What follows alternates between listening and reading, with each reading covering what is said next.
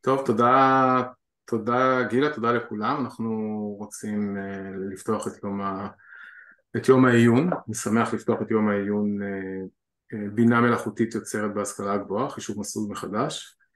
Uh, הוא יעסוק בפריצתן uh, של פלטפורמה. שמע יפה, אומה. אנא השתיקו את עצמכם, כל מי שנכנס. תודה. יום העיון יעסוק בפריצתן של פלטפורמות בינה מלאכותית יוצרת, Generative AI, כדוגמת ChatGPT, המאתגרות את האקדמיה וחייבות לבחון מחדש את דרכי ההוראה והלמידה. יום, יום העיון הוא יוזמה מבורכת של המכון הטכנולוגי חולון ושיתוף עם מיטל, מרכז ידע לטכנולוגית למידה, יחידה של מחב"א. שלום גילה. שלום. כן, שותפה שלנו ל, ליוזמה הזאת. אה, וכפי שאמרתי יש לנו רישום מאוד מאוד משמעותי, אנחנו רואים את המספרים אה, מצטברים. אנחנו נפתח אה, בברכות ואני מבקש להזמין את פרופסור אדוארדו יעקובוב, נשיא מכון טכנולוגי חולון, נעשה דברי ברכה. ערב טוב, אני מאוד מאוד שמח לפתוח את, את יום העיון בינה מלאכותית יוצרת בהשכלה הגבוהה זה הכנס הרביעי שמתקיים במכון טכנולוגי בשנ... בשנתיים האחרונות בנושא AI, רובוטיקה ומסביב. קודם כל אני רוצה להודות לפרופסור גילה קורס, דיקנית הפקולטה לטכנולוגיות למידה והסגל הנפלא שלה על הרעיון, על היוזמה וזה למעשה בין ארבעה כנסים שהמכון ארגן זה הכנס השני שמתקיים ביוזמה של הפקולטה לטכנולוגיית למידה במכון. הנושא הנושא מאוד מאוד חשוב ואני רואה את הנושא של היום זה איזה מין כזה מיני וייז שמחבר בין AI לבין מערכת השכלה גבוהה בין אם זה בארץ או לבין אם זה במוסדות מחו"ל בחו"ל. במכון היום מתקיימות 24 תוכניות לתואר ראשון ותואר שני ואין תוכנית אחת שאין לה התייחסות ל-AI במובן כזה או מובן אחר.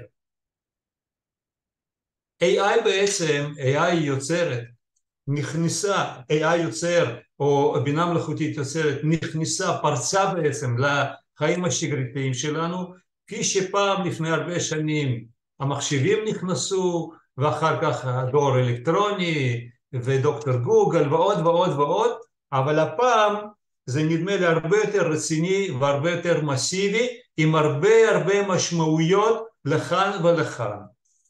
לכן בין המרצים היום אנחנו רואים אנשים מובילים במערכת השכלה גבוהה בארץ ממוסדות שונים, אני לא רוצה לפרט, ובעצם יש לנו שתיים שלוש שאלות פשוטות, לכאורה פשוטות. מה זה בינה מלאכותית יוצרת? מה זה בדיוק? שתיים, איך היא משפיעה על החיים היומיומיים שלנו? איך היא משפיעה בכלל על מערכת החינוך? איך היא משפיעה על מערכת השכלה גבוהה?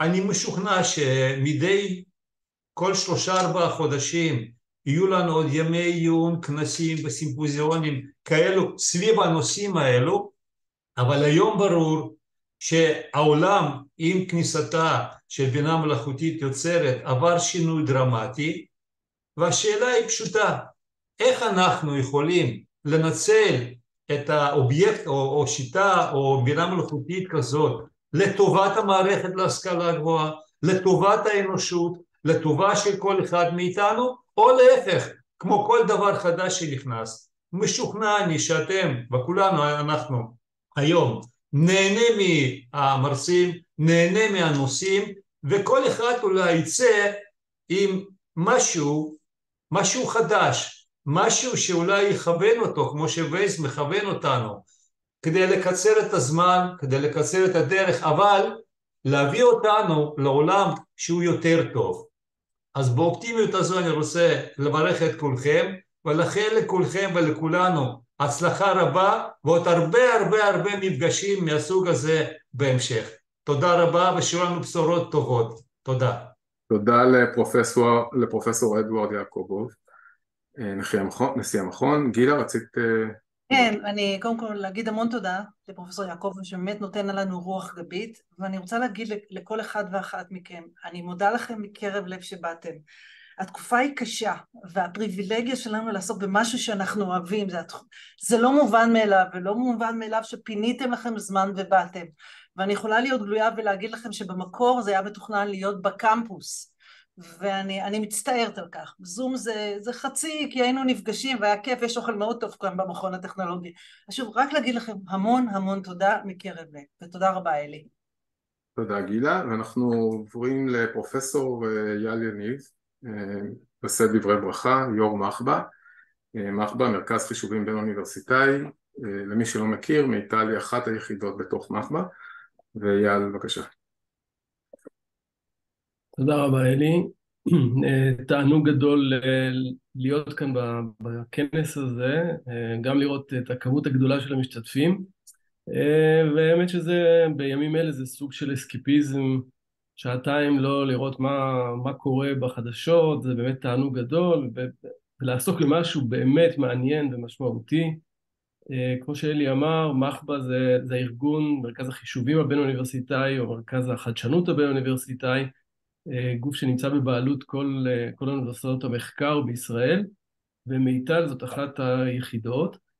אני באופן אישי, בתור יושב ראש, מאוד מתחבר לפעילות של, של מיטל, ויש באמת למיטל עבודה פורייה ומאוד מאוד רצינית שמוביל אותה אלי, וזו ההזדמנות להודות לו על הפעילות בכלל וגם על החלק שלו ביום עיון הזה.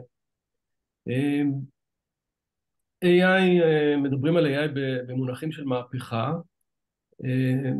ובאמת ל-AI יש פוטנציאל להיות מהפכה. מהפכות, באמת אנחנו יודעים על מהפכה רק בדיעבד. רק אחרי שהתרחשה המהפכה אנחנו יודעים שזאת הייתה אכן מהפכה. וכמו שנאמר כבר אחד התנאים לקיומה של מהפכה זה שהיא משפרת את המצב הקיים אולי בשונה מהפיכה, הפיכה יכולה להביא אותנו לנסיגה במצב הקיים. מהפכה מובילה אותנו קדימה והיא נובעת מרצונות של קהל מספיק גדול כדי שהקהיל, שה, שהמהפכה הזאת תתרחש וכשהיא מתרחשת היא מביאה אותנו בדרך כלל למקום אה, יותר טוב. אה, אבל כדי שזאת תהיה מהפכה באמת, ושנגיע למקום יותר טוב, אני חושב שיש לקהילה הזאת שאנחנו נמצאים בה היום, יש חלק מאוד גדול כדי שבאמת הדברים ילכו בכיוון הנכון וישפרו את מצבנו. כי לצד הפריצה של Generative AI בשנה האחרונה לחיינו, מיד עלו כל מיני שאלות וספקות, שאלות שנוגעות לאתיקה ושאלות שנוגעות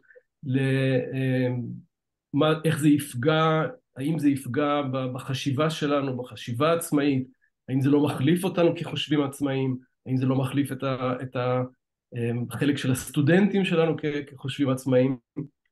ואני חושב שכדי שבאמת יהיה לנו תהליך נכון ותהליך חיובי, הקהילה הזאת צריכה לשנס מותניים לא רק לשמוע מה AI oh, נותן wow. לנו כבר, לא רק להאזין לאיזה כלים קיימים, אלא לעשות מאמץ גדול כדי שבאמת תקרה פה, יקרה פה תהליך חיובי שיעזור לשנות את חיינו באופן חיובי, לעשות אותם אה, יותר טובים, יותר מעניינים, יותר עשירים, אה, ואני חושב שכל אחד מאיתנו חייב לקחת חלק בזה. התענוג הגדול יהיה שנרגיש באמת שאנחנו שותפים כולם במה שהפוטנציאל של, של התהליכים האלה, מימוש של הפוטנציאל של התהליכים האלה.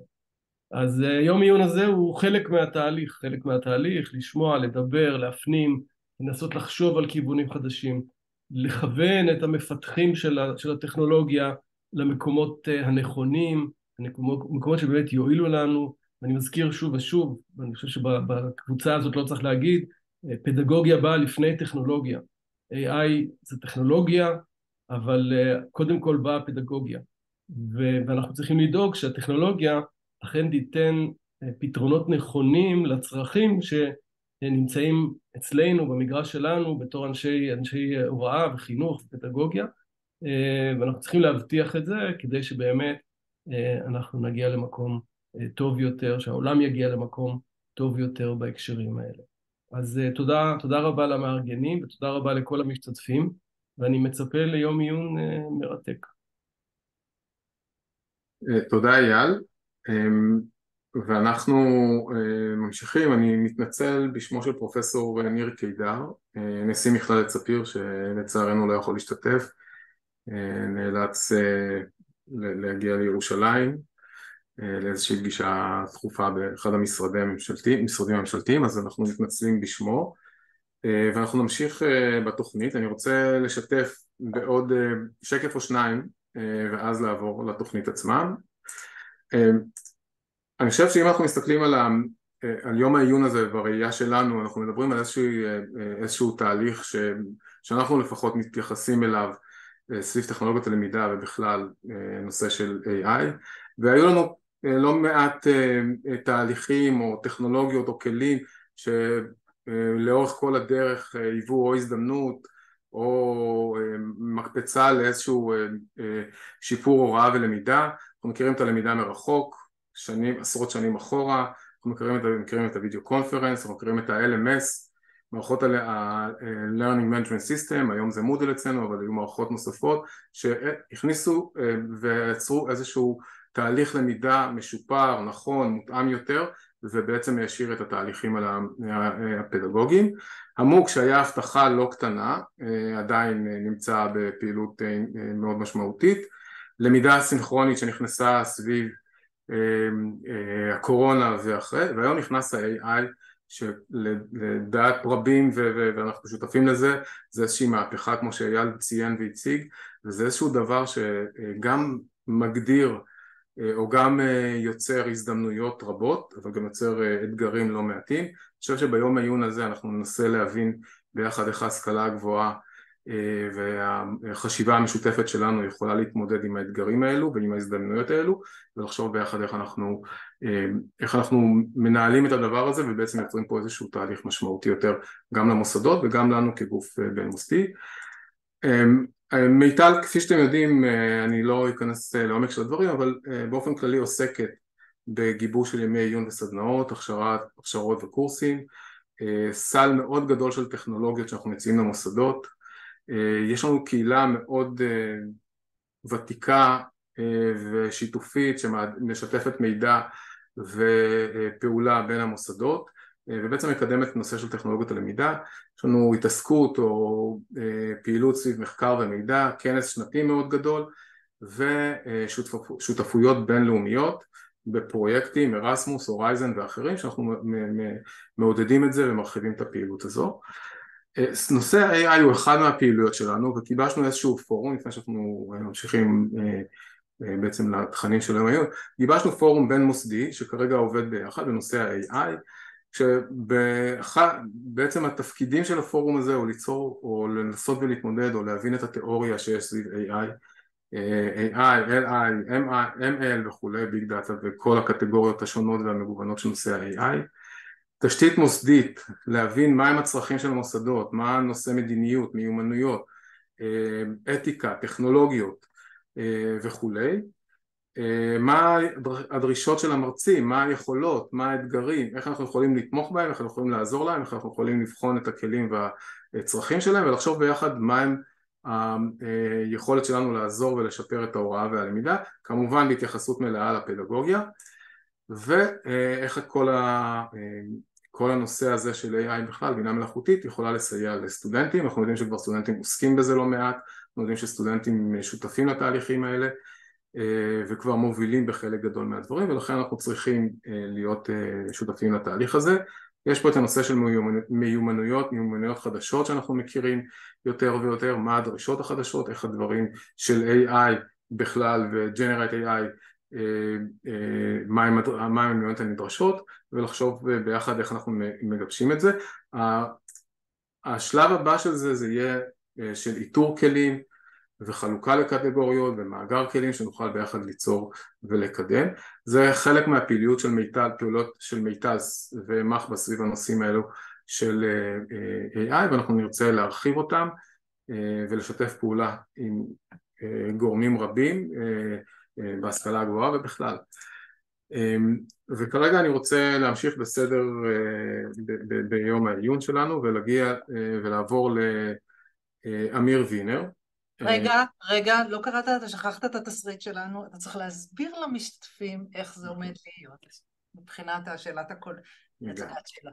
יאללה. אז, אז אנחנו נעשה, אנחנו, יש לנו אה, לא מעט אה, משתתפים ולכן יהיה לנו עשרים דקות אה, לכל הרצאה, כמה דקות בסוף לשאלות, אנחנו נבקש שהשאלות, את השאלות תעבירו בצ'אט ואנחנו אה, נרכז את השאלות ונעביר אה, ונעלה את הכל ביחד וננסה אולי שאלה אחת מכל אה, דובר לנסות ולעלות לשידור. רגע, אז... אל תתחייב שנעשה מכיוון שאני אחראית על זה. נכון, נכון, נכון. זה, אנחנו אז... נקרא את הכל, אני לא מבטיחה שנעלה את הכל, אבל תשאלו שאלות בצ'אט, אני ארכז אותן ואז נעשה את זה במרוכז. כי באמת אנחנו רוצים לשמוע אתכם, אבל בגלל המספר המאוד גדול אנחנו קצת חוששים, אז בבקשה. תודה אלי. אז אנחנו ממשיכים עם אה, הדובר אמיר וינר. אה, אמיר ידבר על אה, מה זו בינה מלאכותית יוצרת ושילובה באקדמיה. אמיר הוא מנהל הסטודיו לחדשנות דיגיטלית במחלקת שוהם באוניברסיטה הפתוחה וראש תחום אנליטיקות למידה. המחקרים שהוא מוביל עוסקים בהשפעה של המהפכה התעשייתית הרביעית על ההשכלה הגבוהה. בשנים האחרונות הוא עוסק בפיתוח מודל יישומי להטמעה של אנליטיקות למידה בהשכלה הגבוהה. אמיר, בבקשה. תודה רבה. רק שנייה, אני אראה אם אני אצליח לשתף. רואים? עוד רגע זה יעלה, כן. אוקיי, אז אה, קודם כל אה, הוספתי כותרת משנה ברשותכם, ואני רוצה להגיד תודה על היוזמה הזאת שהיא סופר חשובה.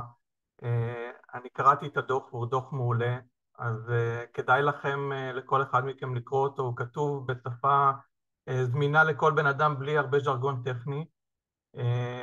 עברה שנה מאז, ובאמת, כמו שכתוב בדוח, אנחנו לא נמצאים בהייפ, אנחנו נמצאים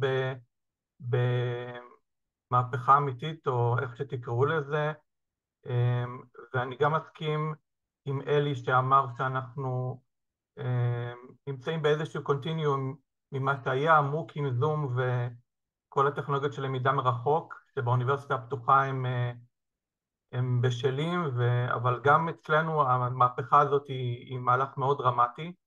אני רוצה להסכים גם עם גילה שאמרה שבסופו של דבר הפיילוט של זום הוכיח לנו שאנחנו עדיין צריכים להיות בני אדם והקשר הבין אישי הוא הדבר שאנחנו צריכים לשמור עליו וזה המסר שלי, אני רוצה להגיד אותו בתחילת המצגת ואני מקווה שאני אזכור להגיד אותו בסוף אבל זה המסר הכי חשוב, איך אנחנו נשארים בני אדם ומייצרים קשרים בין אישיים בתהליך הזה.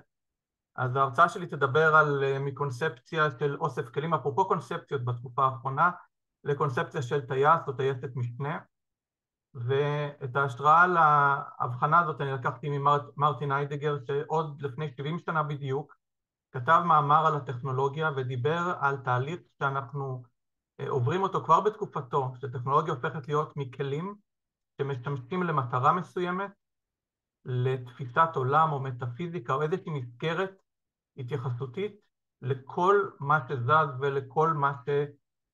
קורה מסביבנו בעולם.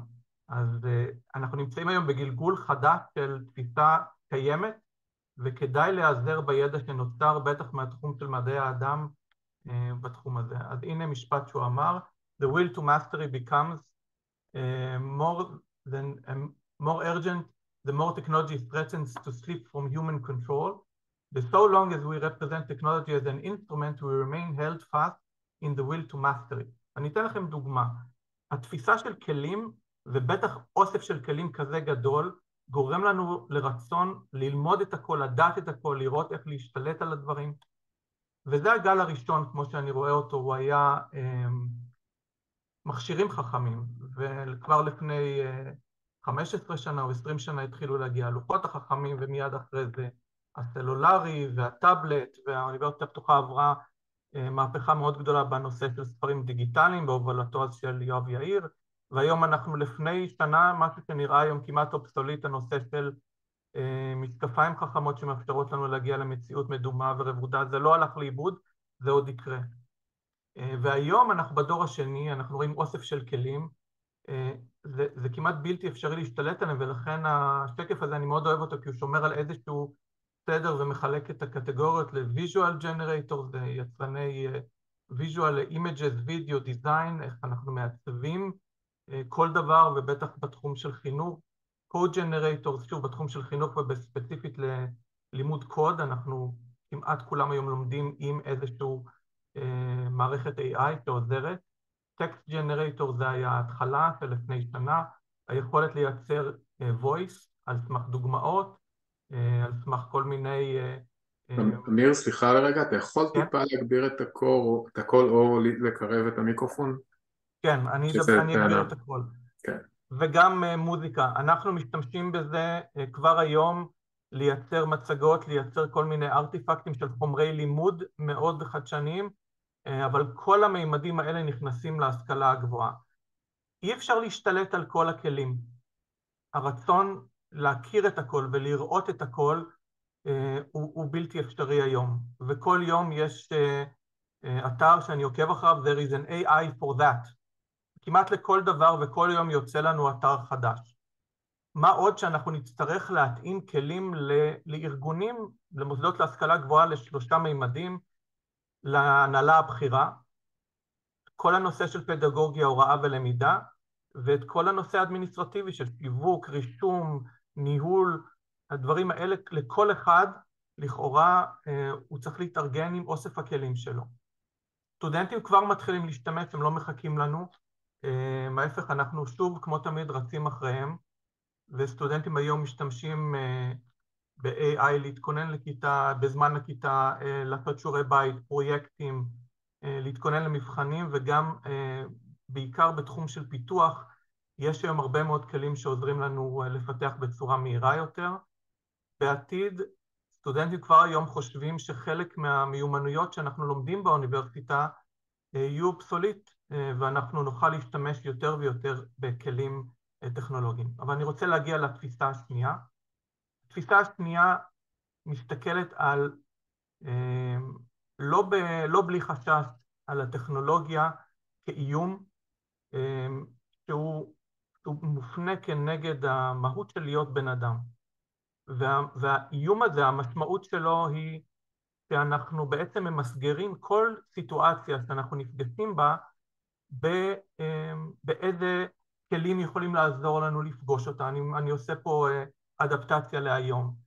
וכל ההתנסויות שלנו בלמידה עוברות תהליך של בחינה מחדש מול אותה uh, ישות חדשה שנוצרת מולנו. אני חושב שהמשפט הזה לוכד, זה לא סתם סיסמה, זה משפט שלוכד את העתיד שהם מדמיינים עבורנו. Uh, הכלים הם כבר לא uh, יישומים לטובת איזושהי מטרה, אלא במשפט הזה יש איום על המקצוע שלנו, על הקיום שלנו. אה, להחליף בן אדם, מה זה אומר? זה, זה משפט שלא שמענו אותו עם אף אחת מהטכנולוגיות הקודמות. ובלב של המשפט הזה עומדת אה, אה, ביטוי חדש, קו-פיילוט, טייס או טייסת משנה, שלוכד את הרצון שלנו שלא נהיה עצמאים בשטח, או המיומנויות שלנו יועצמו, או שנהיה אנשים לצד טייס מתנה שעוזר לנו, או לוקח עבורנו שליטה ופיקוד בסיטואציות מסוימות.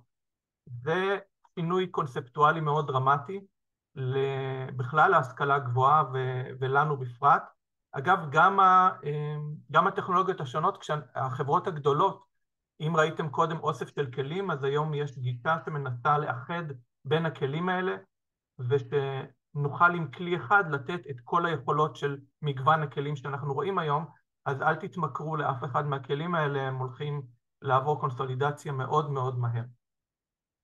כשנכנסים לתחום של Generative uh, AI, כדאי לנו להכיר איזושהי um, ארכיטקטורה מאוד בסיסית או רכיבים שונים ולהכיר את ה-building blocks שנצטרך לבנות אצלנו באוניברסיטאות. large language model זה הביטוי הכי רחב של היכולת של אותו, אותם כלים של בינה מלאכותית לעבור ולסרוק הרבה מאוד דוגמאות, לא בצורה מפוקחת או מפוקחת בצורה חלקית, ולהבין בלי צורך יותר במקור ששימש אותם ללמידה. prompt engineering זה היכולת שלנו לכוון את, ה, את אותה טכנולוגיה גולמית לצרכים שונים. fine tuning עוזר לנו להתאים את הטכנולוגיות לתהליכים עסקיים בכל מיני הקשרים רחבים, אבל כמובן גם בהקשרים השונים של ההשכלה הגבוהה, ולאו דווקא למורים או לתלמידים, אלא גם לתפקידים האדמיניסטרטיביים השונים. והחלק האחרון זה היכולת שלנו להעלות מעבר לידע הכללי של ה-LLM גם פריטים רלוונטיים לעולם הספציפי שלנו, טקסטים שרלוונטיים לקורס מסוים, אולי best practice לפיתוחים, או כל מיני התאמות שנידרש לעשות לכל תחום ידע שנרצה לשלב את זה בהשכלה הגבוהה. השאלות שאנחנו נשאלים, שכל אחת מהישויות שהצגתי קודם שואלות את עצמן, זה שאלות מאוד עמוקות, שאנחנו רק בהתחלה של לשאול אותן, אנחנו רק עכשיו יכולים בכלל לנסח אותן בצורה ברורה, ואני מאוד מחכה לכל היוזמות של מיטל בעתיד. אנחנו חייבים לעבוד מאוד קשה כדי לתת עליהן תשובות. לי אין בטח תשובות בשלב הזה. שתי שאלות מעניינות שתפסו לי את העין ואת הפער ביניהם כששואלים תלמידים האם AI יחליף את בני, את בני אדם ובפרט מורים, אז uh, תסתכלו, רובם חושבים שאו כן או לא יודעים, כלומר פה זה, הלא יודעים הם uh, אזור מאוד רחב, ואלה שאומרים לא הם אפילו במיעוט. אבל כשבאים לשאול האם הייתם רוצים ש-AI יבדוק את הבחינה שלך, אז הרבה יותר יודעים, קצת יותר מרוב יודעים שהם לא היו רוצים.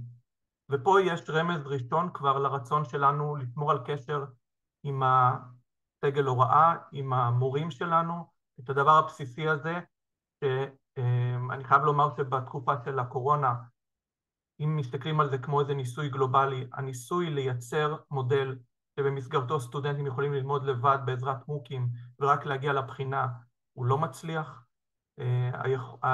הרצון שלנו שסטודנטים לא ישתתפו במפגש החי ויראו רק הקלטות במהירות של 1.5 או מהירות כפולה, לא מצליח, וכל האוניברסיטאות כמעט חזרו למודל שלפני הקורונה.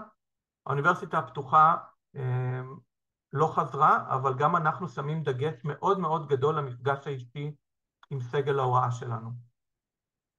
אני שאלתי את עצמי, אם היית צריך להכין מצגת uh, במקום לבוא, למה לא לתת ל-AI לעשות את המצגת בשבילך? Uh, אז הנה שתי תשובות של uh, ברד ובינג, הן לא רעות, אבל אני עדיין מציע לכם לקרוא את המסמך שהוכן על ידי בני אדם, שכולל תשובות הרבה יותר מעמיקות ממה שאני יכולתי לתת, אבל אנחנו עומדים מול הבחינה הזאת בכל צעד שאנחנו עושים. ואפרופו קו-פיילוט, אה, הנה הציונים שאנחנו רגילים לתת לסטודנטים הבוגרים שלנו. מה זה אומר לתת ציון לסטודנט עם קו-פיילוט? אז את זה אנחנו מכירים, אבל מה זה אומר לתת ציון ל-GPT שליווה אותו? האם אנחנו נצטרך לתת ציון לבחירה של הכלים, לשימוש המושכל בהם, אולי בכלל ציון שמתחלק בין שתי ישויות, אחת אה, וירטואלית, אחת אנושית? אלה שאלות שאנחנו צריכים לשאול על דמות הבוגר שלנו. יכול להיות שסטודנטים מצטיינים בשיטה הישנה הם לא אלה שיהיו הבוגרים המצטיינים בשיטה החדשה. האם זה מקובל עלינו? האם זה בסדר? האם יש לנו מה לעשות בנושא הזה? ופה um, העתיד הוא לא ברור. אני רואה מצב שקורה כבר היום, שבו um, מרצה שצריך להכין קורס אומר, אני לא הולך לעבוד מאוד קשה, אני אתן ל-chat GPT להתחיל להכין לי טיוטה של הקורס שאני צריך ללמד, אלה ראשי הפרקים שהוא ממליץ, על כל ראש פרק אני אבקש הרחבה, אני אבקש מצגת, אני אבקש תסריט לשיעור שלי, והנה השיעור שלי מוכן, אבל מהצד השני עומדים תלמידים, וגם הם לא הולכים ללמוד את כל השיעור הזה, הם ביקשו מה-chat GPT לסכם להם את השיעור, לקחת את התסריט ולהוציא להם סינופסיס, ואז מה שיוצא זה מפגש בין ה-AI של המורה שלי לבין ה-AI שלי כסטודנט. זה בטח לא העתיד שאנחנו היינו רוצים אה, לראות, אבל הוקטור הוא הולך לכיוון הזה כיום משני הצדדים. אה, אני רוצה לחזור לקראת סיום למרטין הרדגר, ולה... למרטין היידגר ולהגיד שכשהוא הסתכל על ההתפתחות הטכנולוגית הוא ראה עתיד שממסגר את זה בצורה כזאת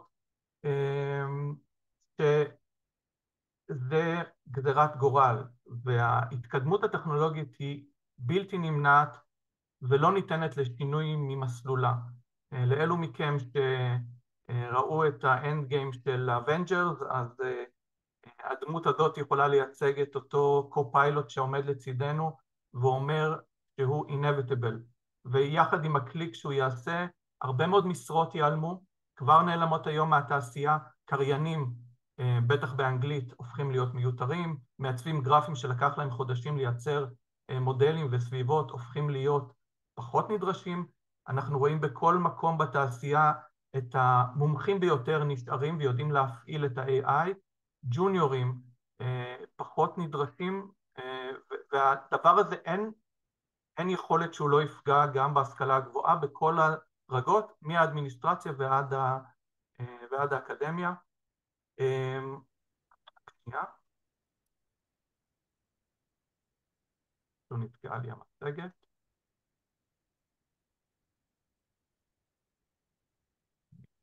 נדלג לשקופית האחרונה. אז... אה?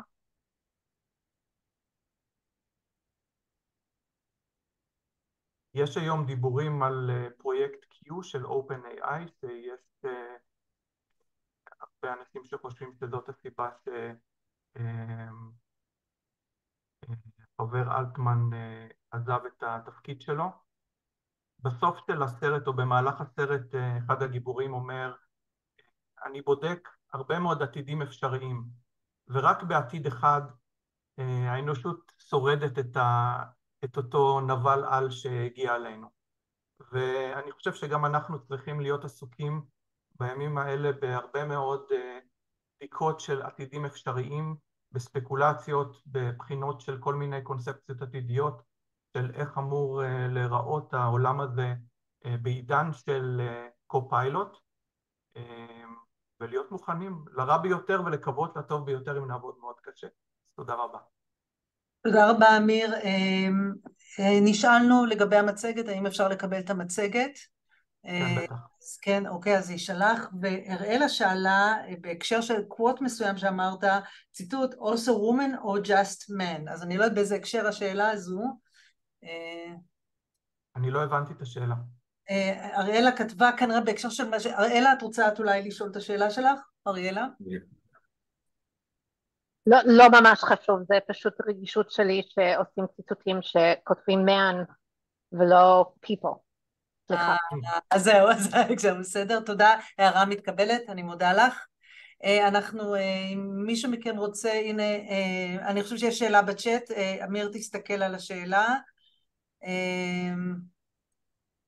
לגבי האוניברסיטה. כן. של שמואל, נכון? לא, לא, לא, שמואל, לא, לא, שמואל, שמואל אני אתייחס אליו. איזה כלי בינה מלאכותית יוצר שינה את הדרך שבה אתם למדים באוניברסיטה הפתוחה? אז האמת שהאוניברסיטה הפתוחה עוד לא השתנתה בעקבות איזשהו כלי. אני חושב שאנחנו משתמשים במגוון כלים כרגע בכל מיני פיילוטים, התנסויות ראשוניות, בעיקר עם סגל ההוראה, וחלק מההתנסויות הראשוניות נעשות מול סטודנטים. בעיקר אנחנו מנסים לשלב את זה במטלות שיחייבו את הסטודנט לבחור כלי רלוונטי ולתעד את התהליך שאותם סטודנטים עשו בעזרת הכלי כדי לענות על התשובה. גם לנו בתור סגל הוראה זה עוזר ללמוד על הדינמיקה החדשה הזאת שנוצרת. אז אין לי כלי ספציפי להמליץ עליו. תודה, נתקע לי. האם כלי AI, רגע שנייה אני אקריא, האם כלי AI היו יכולים למנוע את אירועי השבעה לאוקטובר? ברשותכם אני מציעה שלא נדבר על זה, אנחנו, אין לנו ידע, אנחנו לא, אנחנו באמת לא זה. יש לי עוד שאלה. הרפרנס שאני השתמשתי בו על הבחינות הוא מופיע בשקופית, אז כשאני אשלח לכם את השקופית אתם תוכלו להסתכל על המאמר. כן, אוקיי. יש שאלה נוספת גילה של מזר? כן, אז כיצד נוכל לגשר על הפער של הג'וניורס?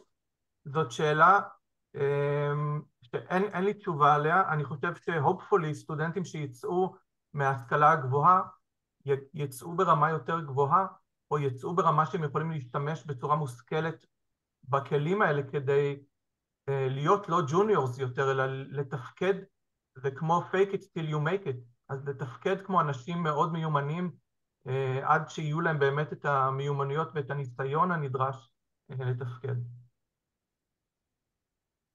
ויש לנו דקה אחרונה, אני רואה פה שאלה של ניזר, מעניין אותי המחקר שבדק את עמדות הסטודנטים לבדיקת הבחינות שלהם. אה, אם תוכל להרחיב על זה. אז המאמר נמצא שם, אני, אני, אני לא רוצה להתייחס למאמר ספציפי, אני, זה מאמר מאוד מקיף שלקח אה, אה, סדרה מאוד גדולה של סטודנטים ושאל אותם התייחסויות אה, לגבי ה-Generative AI.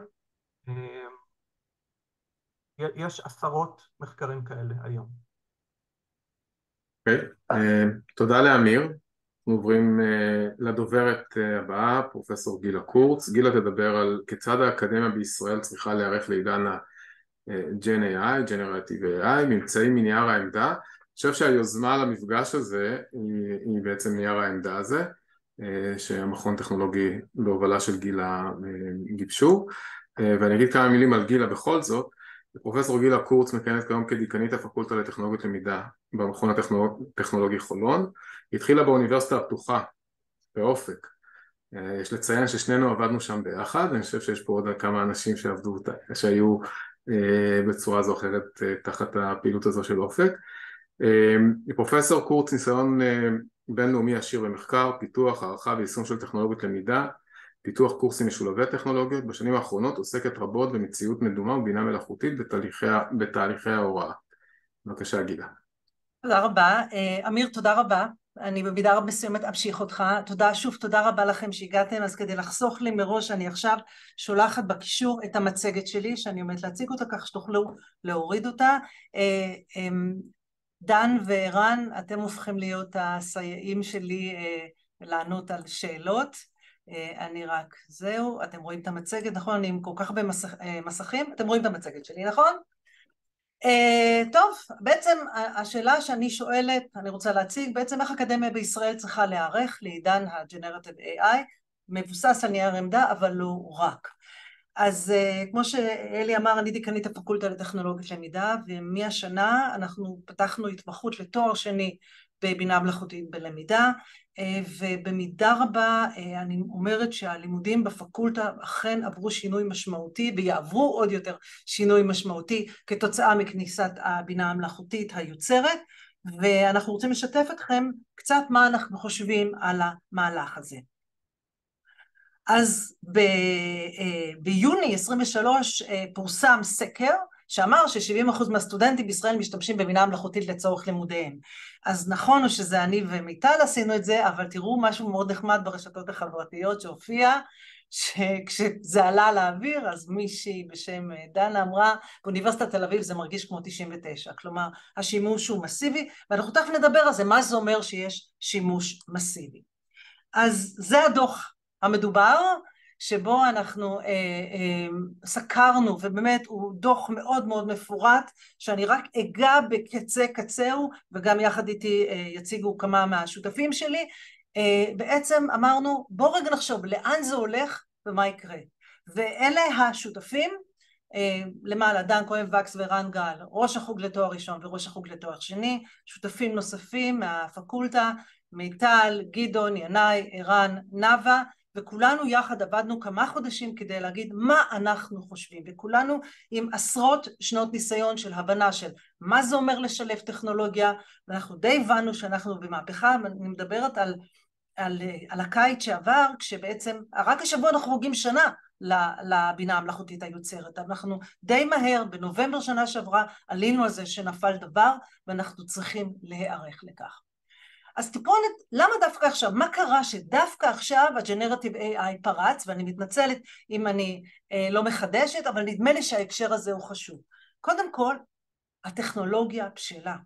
הטכנולוגיה, אנחנו מקבלים טכנולוגיה בשלה, היא מהירה והיא אמינה יחסית. כשאני אומרת אמינה יחסית, הכוונה היא באמת אנחנו יודעים את ההזיות ואת כל הדברים, גם פעם היא הייתה יותר בחינמית, עכשיו היא כבר פחות חינמית, אבל הנקודה היא שהיא בשלה וחוויית המשתמש מאוד מאוד נוחה בה. וגם אנחנו, המשתמשים, המשתמשים שלי, יש כאן איזה יחסי גומלין בין כך שמאוד קל, אני לא יודעת אם ניסיתם לעבוד עם קלוד או עם כלי בינה מלאכותית, כמה זה פשוט, כמה זה אינטואיטיבי, וגם כאן אנחנו בשלים, וכמובן הסטודנטים שלנו, וגם סגל ההוראה באקדמיה, חלקו בשל. שוב, כמו שאמרתי, חוויית uh, משתמש מאוד קלה, מאוד אינטואיטיבית, מאוד פשוטה, כמעט לא תמצאו יישומים שהם מורכבים להפעלה, ותשמעו, גוגל כבר לא מספיק, גוגל זה העולם הישן, גם ויקיפדיה כבר לא מספיקה. אז כל אלה נתנו לתנאים האלה להבשיל, uh, ובפריצה מטורפת בנובמבר שנה שעברה. הדוח שלנו מרחיב, נותן סקירה על מערכת ההשכלה הגבוהה עד לעידן הג'נרטיב AI, כולל אנחנו מתייחסים אה, לקורונה והשלכות הקורונה. כאן אני רוצה להעלות סוגיות, ואני אשמח אם תשאלו או תרצו להרחיב, על מה הן ההשלכות שאנחנו רואים של הכנסת הג'נרטיב AI להשכלה גבוהה. חילקנו את זה שלוש קטגוריות, זה כמה חודשים של שיח של איך אנחנו מרכזים את הכל במקום אחד. אנא לא לצייר לי על השקפים, אני מאוד אעריך את זה. אה, אני לא רוצה לחסום, נדמה לי שאנחנו לא צריכים לחסום אפשרות של כתיבה על השקפים, והשקפים נמצאים ואפשר להוריד אותם. אה, אז בשלושה, אה, שלוש קטגוריות מרכזיות, מרכזיות, הראשונה היא למידה והוראה. הדוח עצמו אה, מתייחס ללמידה והוראה בלבד, לא למחקר, משום כך אני לא מתייחס כאן למחקר, אבל כמובן שמחקר גם יושפע. מישהו ללמוד איתו. מישהו מכם שניסה אה, לעבוד עם צ'אט GPT, איך די מהר אתה כבר מדבר איתו, כאילו למה אתה חושב את זה? בעצם זה באדי שהולך איתך, יכול להיות שותף, לסייע, יכול לענות על שאלות, יכול בעצם להיות אה, יחד בסיעור מוחות, ומהבחינה הזו באמת עוגן, פיגום שיכול לסייע לתהליך הלמידה. עם זאת, to the extreme, באיזשהו שלב זה כבר יכול לקחת אחריות ללמידה. כבר ההסתמכות היתר בעצם מסוכנת, בפרט לכאלה סטודנטים שרק מתחילים את דרכם ועוד אין להם את המיומנות להבין מה הם רואים מולם. אז קודם כל הדבר הזה שיש לנו יופי של אה, אסיסטנט או ליווי שבאתי שילך איתנו, אבל צריך מאוד מאוד בזהירות. הדבר השני שמדברים עליו, מדברים, האמת היא שדי הרבה מדברים עליו, פחות ראיתי בפועל, אבל פרסונליזציה בלמידה. מה זה אומר? אתה יכול להתאים את תהליך הלמידה ללומד הספציפי. ואתם מכירים אולי את הפרומפטים שאומרים, אני עכשיו תלמיד שנה א' בהנדסה, תסביר לי מה זה ואז אתה מקבל את ההדרכה המתאימה לך או לך, ומהבחינה הזו זה נהדר ונפלא, אפילו גם לנו כמרצים, אני נכנסת לתואר שני, תסביר לי איך אני מסבירה את הנקודה הזו והזו, אז באמת זה יופי של דבר, שוב, זהירות, באיזשהו שלב אנחנו עלולים לאבד את, המנ... את החשיבות של המנחה האנושי, ואנחנו חסידי המנחה האנושי. גם בסעיף הקודם של מישהו ללמוד איתו צריך מנחה אנושי, גם כאן צריך אדם אנושי. והסתמכות יתר על הטכנולוגיה עלולה לגרום לסוג של הליכה לאיבוד, כי אתה לא יודע מה אתה יודע ואיך אתה יודע, צריך את המצפן בעזרת הסיוע של המרצה. תשמעו, בטח אתם יודעים, זה מה זה מקצר זמן? זה מאוד מקצר זמן. זה מקצר זמן בבדיקת עבודות, קולגה כתב לי, תשמעי, אני עכשיו מכניס את העבודות של הסטודנטים והוא מעריך אותם, בתכנות, נותן את המשוב. זה מקצר זמן בלמידה, לחפש חומרים, לא צריך כבר לגוגל סקולר. אתה הולך ומחפש ומוצא את המאמרים ונותן לך גם את הנקודה המשמעותית מתוך המאמר. זה טוב, וזה יופי עד לגבול מסוים. כי באיזשהו שלב, זמן לתהליך, יש משמעות, וצריך לזכור את זה. אז זה מאוד מפתה אותנו, אה, וכרגע אנחנו במין תקופת ביניים שבה אי אפשר לסמוך לגמרי רק לבינה המלאכותית, ואני שמחה על כך, אבל להערכתי עוד מעט זה יסתיים, ואז בעצם אנחנו צריכים להבין מה זה אומר, עד כמה אנחנו נותנים לו לקצר לנו את תהליך הלמידה וההוראה. אז אלה שלושת הדברים תחת הכותרת למידה והוראה. הנושא השני מיומנויות למידה, אמיר נגע בזה, אני טיפונת רוצה להרחיב. הסלוגן הזה חשיבה ביקורתית. מה זה חשיבה ביקורתית? זה רפלקציה, זה לדעת, אתה קורא משהו, אתה מסתכל על משהו, אתה יודע לשאול שאלות, אתה יודע להשוות, אתה לא מקבל את זה ככזה ראה וקדש. ואני חושבת שבעידן ה-Generative AI יש סכנה מאוד גדולה שנאבד את זה, כי נסמוך על הטכנולוגיה.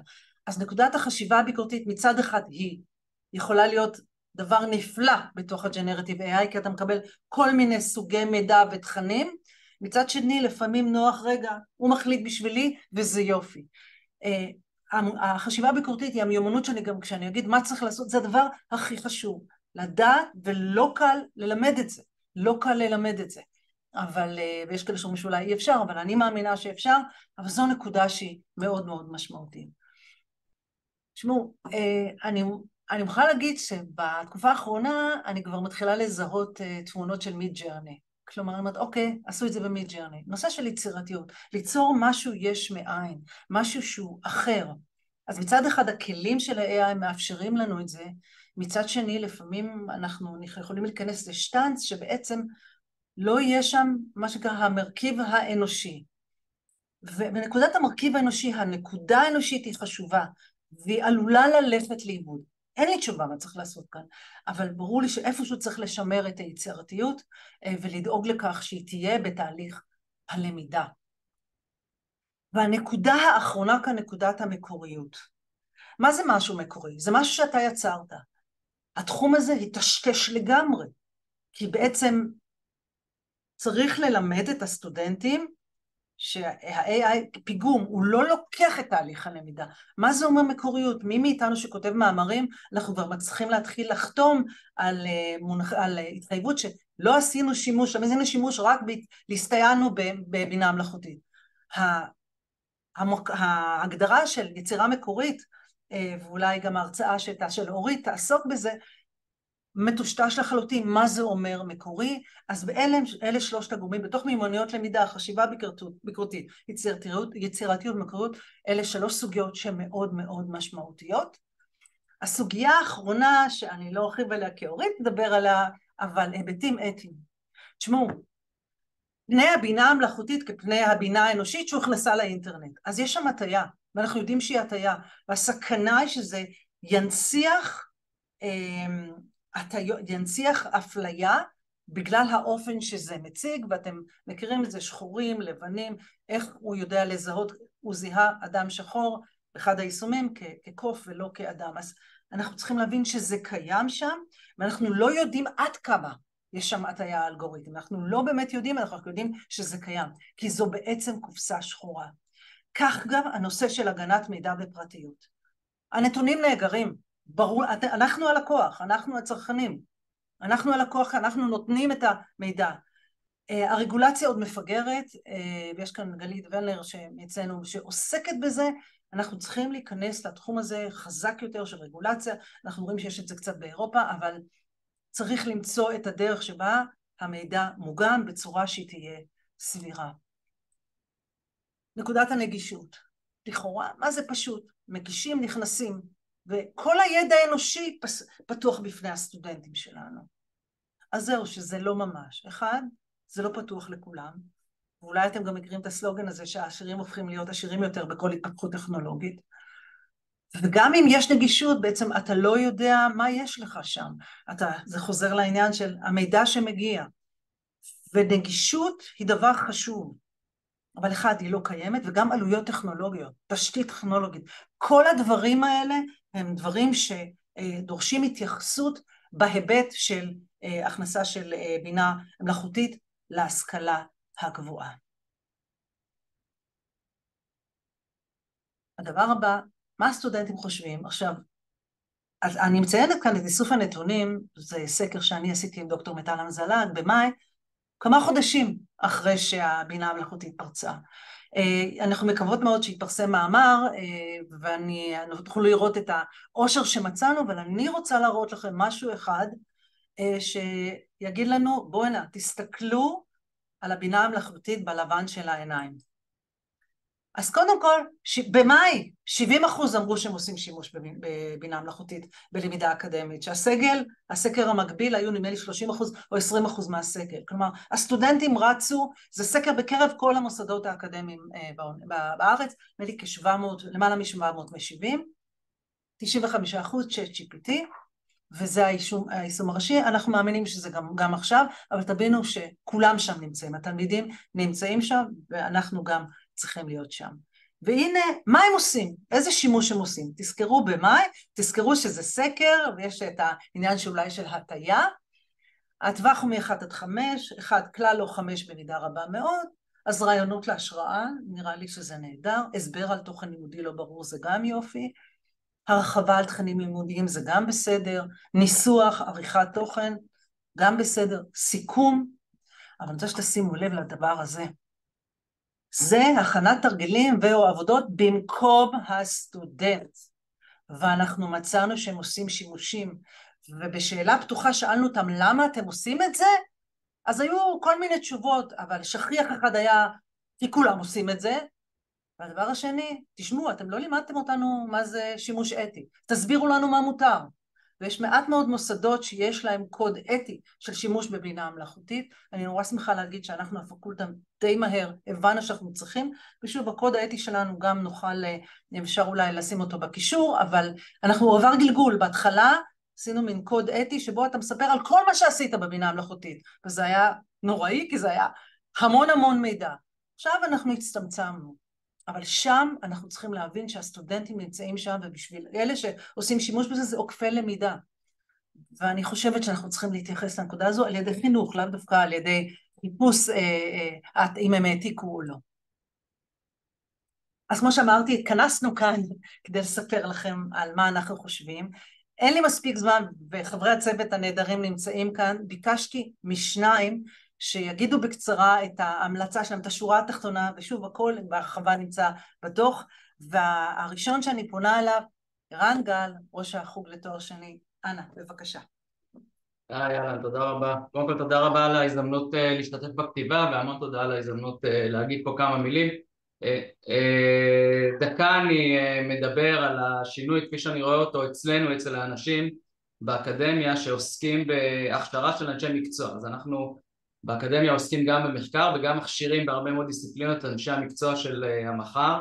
המחר הזה משתנה, היום הזה משתנה, ויש כאן אה, קודם כל שאלה עד כמה אנחנו, כי אנחנו לא ידועים בתור אה, גופים שמשתנים מאוד מהר, אז קודם כל עד כמה אנחנו נשתנה ונבין שהאופן שבו תהליכים מתבצעים, האופן שבו תוצרים מתקבלים, האופן שבו אנשים עובדים הוא משתנה ובאיזה שלב התהליך הזה ייכנס לתוכניות הלימודים שלנו ויש פה הזדמנות, הזדמנות מאוד uh, גדולה ל, uh, להוביל את השינוי הזה ובעצם לבוא, לחקור, לבדוק, לראות את השינוי הזה, להגיד את דעתנו בדיוק כמו שכרגע כאן, גם בצ'אט וגם uh, אנחנו אומרים את הדעה שלנו לגבי זה ולהוביל את תהליך השינוי הדיסציפלינרי הזה uh, לא רק ללמד אותו אלא גם להיות uh, חלק ממנו.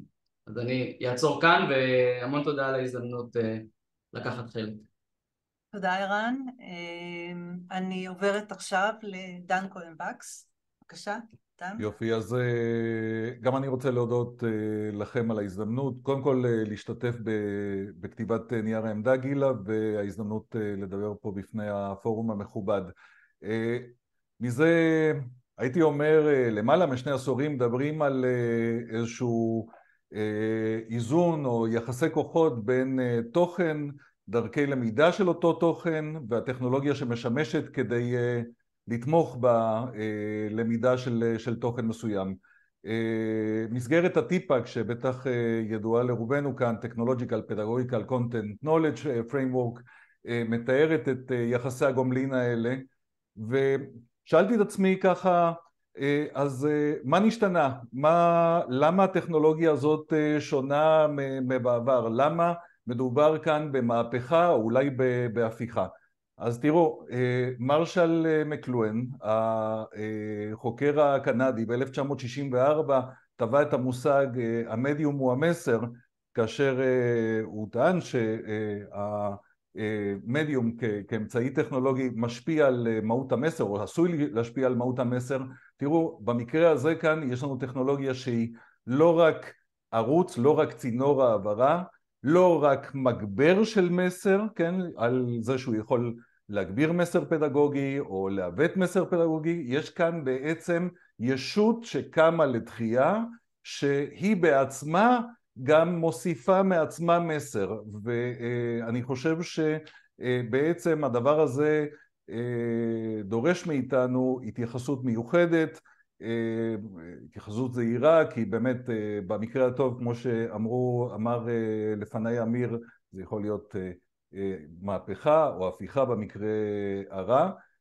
ועכשיו מילה אחרונה ה practicalities, אני מודה שבהרצאות הקודמות על בינה מלאכותית ככה רצ... תמיד חתמתי, אוקיי, אז מה ההמלצות, איך אנחנו מתגוננים, כי ככה אנחנו כולנו רואים את זה בתור איום, איך מתגוננים בפני הדבר הזה, אז דיברנו על flexibility, uh, agility, על פיתוח של flexibility, agility, ה critique שגילה דיברה עליה, ה creativity, ולאחרונה ככה uh, אני מסתכל על זה קצת אחרת, uh, אז אני מציע הסתכלות קצת אחרת, הייתי רוצה להציע את ההסתכלות הבאה.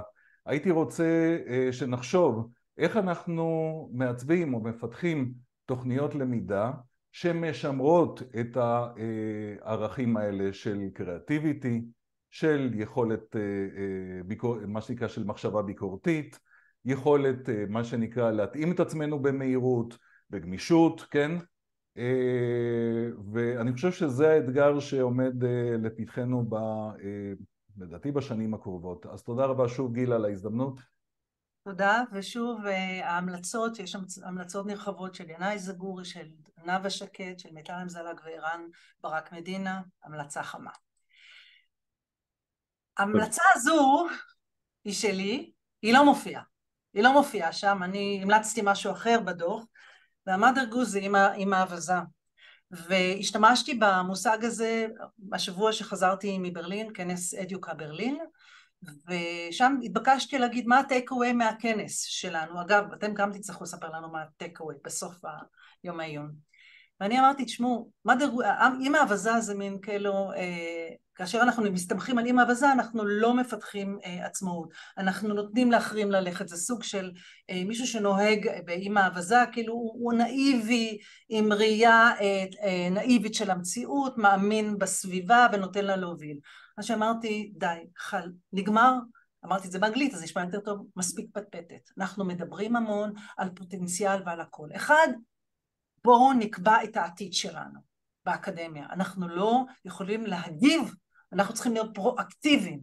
עכשיו, כשאני אומרת את זה, אני מודה, כמה פעמים יצאתי ונכשלתי. לא שאני תמיד יודעת מה אני עושה, אבל חייבים לצאת ולנסות.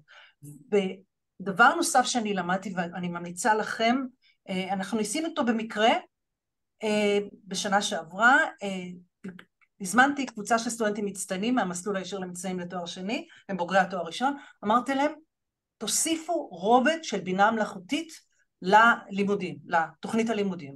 אל תבטלו אותה, אבל תוסיפו. תקשיבו, אני למדתי כל כך הרבה מהם, אז אני אומרת לכם, אנחנו צריכים ללמוד מהסטודנטים, הם שותפים שלנו. אז זה מסוג שאומרת, הגיע הזמן להתבגר. זה העניין של ה Mother Goose.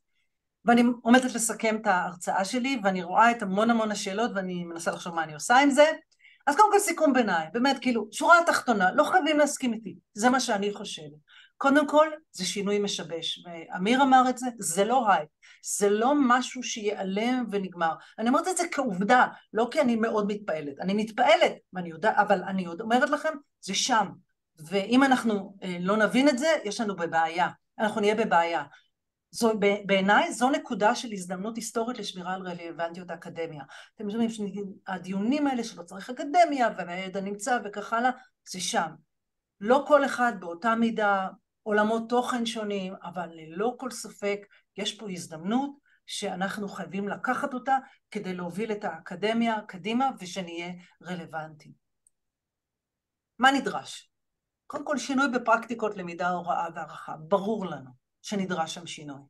צריך שינוי כי מה שהיה של המורה עומד ליד הלוח ומדמד, מדבר, מעבר לכך שאנחנו יודעים שזה לא יעיל, צריך לשנות את זה. הערכה, מבחן, די סיימנו את זה, ה-ChatGPT עושה יופי של מבחן, יכתוב את המבחן או את העבודה במקומי. גם ההוראה שונה. וזה לא פשוט. ההוראה היא אפילו, היא שינוי שיכול להפחיד חלק מאיתנו, כולל אותי, כי אני רגילה לדרך מאוד מסוימת, פתאום נכנס הנושא של הבינה המלאכותית ומה אני עושה עם זה. אז קודם כל נדרש, ו- ויכול להיות שמיטל זה המקום שלו לדון בהקשר הזה. סגל הוראה, הכשרה. אני רוצה להגיד מילה על זה. זה לא רק הכלים, זה בסדר כלים, אבל המשמעויות. ויש כבר ידע, יש כבר ידע מה, איז, מה סגל ההוראה צריך לדעת.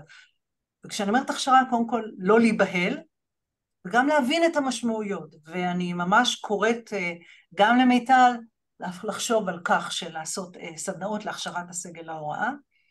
זה האתגר. אנחנו צריכים להקנות לתלמידים אוריינויות למידה מותאמות לעידן ה-AI. אממה, אנחנו לא ממש יודעים מהם אוריינויות ההוראה. אז יש כאן מתח. אנחנו צריכים להיכנס לשם, להסביר להם מה זה שימוש בבינה מלאכותית כעוגן ומה זה כתחליף ומה זה אומר בעלות על תהליך הלמידה. אז זה אתגר גם כן. מה נדרש? תראו, אני במוסד שעושה מחקר יישומי, חלילה, אני לא מזלזלת במחקר תיאורטי, אבל כשאני אומרת שנדרש מחקר יישומי מסוג מערכי ניסוי, כלומר מחקר לא שבוחן עמדות כלפי ומודה שזה מה שאני עשיתי, אלא מחקר שמשווה בין שתי שיטות של למידה, אחת עם, אחת בלי, מערך ניסוי עם ביקורת, וזה ילמד אותנו מה תורם, מה יכול לתרום ומה נכון. אז אני קוראת לכל מי שחוקר ממש לעשות מחקרים יישומיים. אז זה הסיכום ביניים, עכשיו זה סיכום של הסיכום.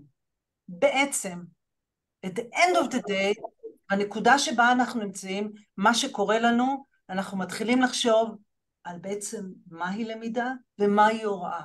האם למידה היא שינון? מהי הוראה? העברת ידע? אבל זה כבר נושא אחר, שבהרצאה אחרת של כמה ימים אני אשמח להתייחס אליה. תודה רבה לכם. תודה גילה. אמ, אנחנו נאפשר שאלה אחת אני רואה שיש לא מעט שאלות... אה, אז מה שאני מציעה, אלי, מה שאני מציעה, כן, ואני אענה בצ'אט. כן, אה, בצ'אט יש המון התייחסות לנושא אתיקה ולנושא שימוש ופלגריזם, נדבר על זה אולי גם בהמשך, ואנחנו... ממש כיף לי שיש הרבה שאלות, ואני מקווה שגם לא מסכימים איתי, אז אתם פנויים להגיע אליי. כן. מה השאלה שלי שאתה רוצה? אם יש שאלה אחת למישהו שמבקש, אז בבקשה, אם לא, אז באמת נענה בצ'אט לכל מי שאפשר ונמשיך. שאלה? כן, מישהו ככה שרוצה להגיד, מישהו שמנוסה, אה, תום, אני אשמח לשמוע אותך. תום הוא אמנם מערכת החינוך, הוא לא ממש מהאקדמיה, מקווה שזה בסדר, תום, שאני פונה אליך. כן, בהפתעה, אבל אה, בשמחה. בואי, רק אה, כדי לאפס אותי, תגידי לי מילה על, על ההתייחסות למה היית רוצה לשמוע. טוב, קודם כל תום ספר מי אתה. אז נעים מאוד, שמי תום הגלעדי, אני אה, בא מעולמות החינוך ועוסק במפגש שבין בינה מלאכותית לתהליכי הוראה, למידה, הערכה, אה, גם במערכת אה, החינוך, גם באקדמיה וגם בתוך התעשייה. וגם יש לו קבוצה של כמה? ארבעת אלפים חברים, נכון? ששת אלפים ומשהו, כן. ששת אלפים ומשהו. ונמצא עם קרון, ראיתי שגם אור דניאל כאן, אז באמת מהשטח. אני בעצם הייתי רוצה לשמוע ממך איך, מה אתה חושב שהאקדמיה, מחר בבוקר, מה האקדמיה צריכה לעשות? אמ, אני, בדיוק אני בהתכתבות וואטסאפ על הדבר הזה עכשיו. אה, אני חושב שהנקודה שאולי בכנסים כאלו היא, היא, היא, היא נקודת חולשה מובנית במבנה של הכנס, זה שצריך לרדת מהר מאוד לרמת הפרקטיקה, זאת אומרת, אה, case study, של רעיון, case study של אה, מרצה שבא ואומר, תראו, הנה הקורס שלי, זה הטרנספורמציה הדיגיטלית שעברתי בעידן הבינה המלאכותית, זה מה שעשיתי, אה, אלו התוצאות, זה, אלו היו תגובות הסטודנטים, כך הצבתי מחדש את ההערכה, קחו את ה-case study הזה ותראו אם אתם יכולים לעשות לו אדפטציה לתחום שלכם. ו- וכמובן, כמו שאמיר גם אמר בהתחלה, אמיר אמר, ו- וזה היה נחמד לשמוע, אין תשובות עדיין. כלומר, אנחנו כולנו עדיין מגששים בתוך התחום הזה, אמ, אבל זה ה... זה ה אם אני צריך לשלוף מהשרוול את הדבר המרכזי שהייתי עושה, זה את הדבר הזה, זאת אומרת, איך אנחנו מייצרים מודלים של למידת עמיתים, שבהם אה, חברי סגל מנוסים עם אוריינות דיגיטלית גבוהה, אה, עושים אה, העתק הדבק עם אדפטציות מתאימות לקולגות שלהם. אה, ולנסות לרדת קצת מרמת התיאוריה של, ה, של כמובן צריך לשנות דרכי הערכה, צריך לשנות, זה, אני, אני מסכים, זה, כל מה שנאמר פה הוא בול בפוני, אבל האתגר הוא להוריד את זה לקרקע. תודה רבה. אני אעביר כאן בקישור את האתר שלנו, של הקורסים שהפעלנו עליהם את הרובד של הבינה המלאכותית. קודם כל, המון המון תודה, והמון המון תודה לשותפים שלי. ואלי, אני מעבירה אליך, אני אענה בצ'אט לשאלות. אז תודה גילה ולצוות. אנחנו ממשיכים עם דוקטור גיורא אלכסנדרון. גיורא ידבר על NLP בעברית, פערים והשלכות לאימוץ Gen AI בחינוך. דוקטור גיורא אלכסנדרון הוא חוקר בכיר במחלקה להוראת המדעים, מכון ויצמן למדע וראש מעבדת המחקר לגישות חישוביות בניתוח למידה. המחקר במעבדה משלב הוראת מדעים ומדעי הלמידה עם בינה מלאכותית ואינטראקציית אדם מכונה. הפוקוס העיקרי הוא על הוראת המדעים ב-K12 אבל תוך, תוך כך על מחקר ופיתוח של סביבות אינטראקטיביות מותאמות לצרכים של לומדים שונים ועל העצמת מורים בעזרת AI ואנחנו נשמח לשמוע את גיורא, אז בבקשה גיורא, אתה איתנו, רואה את המצגת, אני לא שומע, אתה במיוט. כן. כן, רואים את המצגת? מצוין, כן. יופי, נהדר, אז תודה רבה אלי להצגה. טוב, מי שמכיר את הדג בבל מהמדריך לטרמפיסט בגלקסיה, זה מה שיש בצד שמאל של המצגת, זה, זה מין יצור כזה שאמור לדעת לתרגם סמים באוזן, הוא אמור לדעת לתרגם מכל שפה לכל שפה. אז תראו, אני רוצה להמשיך את אמיר וגילה וקצת לתת את הפרספקטיבה המקומית לשפה שאנחנו מדברים. עכשיו, אני מגיע לזה ממקום של Applied Researcher שבאמת מיישם את הכלים ושיטות של למידת מכונה בשביל לחקור ולפתח כלים להוראה ולמידה. עכשיו אני עושה את זה בקונטקסט של K-12 במחלקה להוראת המדעים במכון ויצמן. עכשיו לנו יש קבוצות מחקר בכל מיני תחומים של הוראת המדעים, מתמטיקה, מדעי המחשב, עובדים עם מורים דרך מרכזי מורים וקהילות של מורים וחלק ממה שאנחנו מפתחים להם זה סביבות דיגיטליות להוראה מותאמת אישית שגם אנחנו מכניסים אליהם אלמנטים של AI וזה. הפוקוס העיקרי של הקבוצת מחקר שלי, אז מנקודת המבט הזה, הזאת אני מגיע אל הנושא הזה, אני לא בלשן חישובי ואני לא NLPיסט, אני בעצם סוג של חוקר יישומי שמיישם כאמור שיטות של למידה, למידת מכונה להוראת המדעים.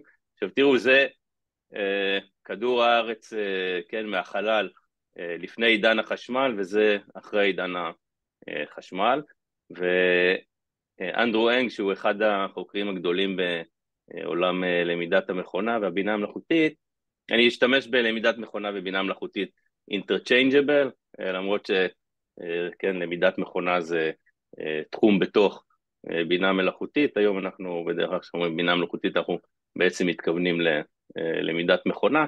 בכל מקרה, אנדרו אנג אמר ש-AI זה New Electricity, והוא אומר, תחשבו מאה שנה אחורה איך נראה העולם ככה, כן, ואיך העולם נראה היום, הוא אומר, זה מה שתעשה הבינה המלאכותית לאנושות, עד כדי כך האימפקט של הדבר הזה יהיה גדול. הנקודה היא שאנחנו יודעים, כמו שאנחנו רואים בתמונה הזאת, שהפירות של החשמל והקדמה הם לא מתחלקים בצורה, בצורה אחידה על פני העולם, יש כאלה שנהנים מזה יותר ויש כאלה שנהנים מזה פחות. עכשיו, בתחום של למידת מכונה, אז, אז, אז כאילו נראה היום שהדברים נהיו מאוד פשוטים ומאוד בידיים שלנו, והיום למשל כל אחד יכול, out of the box, להיכנס לאתר של גוגל נגיד שנקרא Teachable Agents, ולייצר די בקלות מודלים של למידת מכונה שעושים דברים נורא נחמדים, כמו למשל לי יש שני חתולים, כן, אחד זה למעלה זה קוראים לה ונילה, למטה אפשר לראות את שוקו, אז אפשר די בקלות לעשות מודל של למידת מכונה שמבחין בין שוקו ווניל, אז לצורך העניין נכנסתי ל-Teachable Machines הזה של גוגל, כן, סרטון של איך אני מעלה לשם תמונות של שוקו, בוחר תמונות של שוקו, אחרי זה אני בוחר תמונות של וניל, בואו נראה, כל זה ב, כן, במשיכה עם עכבר. אוקיי, העליתי את התמונות לאתר שלהם, בקלות אני עושה עכשיו, מאמן את המודל הזה, קיבלתי, קיבלתי מודל, עכשיו אני יכול ללכת לבדוק אותו, איך אני אבדוק אותו? אני אתן לו תמונה שהוא לא ראה בתהליך האימון שלו, אז אני מביא את זה מתמונות ש... של טסט, שהוא לא ראה בתהליך האימון, מביא תמונה של וניל, ואנחנו רואים 100% הוא מזהה שזה וניל. אבל מצד שני, אה, מה קורה אם אני הולך ומביא תמונה של איזה חתול שהוא בכלל לא שלי? הוא גם חושב שזה וניל. או אם אני הולך ומביא לו תמונה של אה, שפן, אה, היה לי פעם ארנבת, קראו לה שלג, הוא גם חושב שזה החתולה וניל. למה? כי זה מודל שהוא מאוד, מאוד פשוט, הוא מאוד תפור לאיזשהו task מאוד מאוד ספציפי, ולמעשה אה, המודלים היום בעולם הם לא כאלה, מודלים שאנחנו נתקלים בהם בעולם הם מודלים מאוד מאוד sophisticated שהם אה, בנו אותם על הרבה מאוד data, למשל אם אנחנו מסתכלים על המכוניות האוטונומיות של אה, גוגל אז המכוניות האלה מסתובבות בעולם, כל מכונית כזאת היא אוספת משהו כמו טרהבייט של data ביום, מאות מכוניות כאלה כפול עשר שנים, תעשו את המתמטיקה, כמה storage, כמה חישוביות ומה העלות של כל הדבר הזה. בעצם כל העולם הזה של ה machine learning היום, למרות שזה כאילו בידיים שלנו, זה בעצם הפך להיות משחק של ענקים. עכשיו, אם אנחנו מסתכלים היסטורית, אוקיי, אז היסטורית, אם אנחנו, כן, machine learning זה משהו שהוא קיים כתחום אקדמי הרבה מאוד שנים, אבל כתחום שהוא באמת מביא ערך אה, אה, יישומי, אנחנו מתחילים לראות בנגיד שנות האלפיים, ששם היו מודלים יחסית אה, פשוטים, machine learning קלאסי, הרבה התעסקות עם אה, מה שנקרא feature engineering, איך אני בוחר את הפיצ'רים שיעזרו לי להבחין, או למודלים ללמוד איך להבחין בין קבוצות. בהמשך נכנסנו לעולם של מה שנקרא uh, Deep Learning, והשלב הראשון בעולם של, ה-Deep Learning זה המודלים שהם, uh, שהם היו מה שנקרא טאסק ספציפי, כן? הם, הם היו בנויים בשביל uh, לפתור משימה ספציפית, הם הכירו את הדאטה של המשימה הספציפית הזאת, הדוגמה הכי קלאסית זה מודלים שמבחינים בין uh, uh, כלב לבין uh, חתול, אוקיי, זה כל הדאטה שהם מכירים, תמונות של דאטה של כלבים ותמונות של חתולים,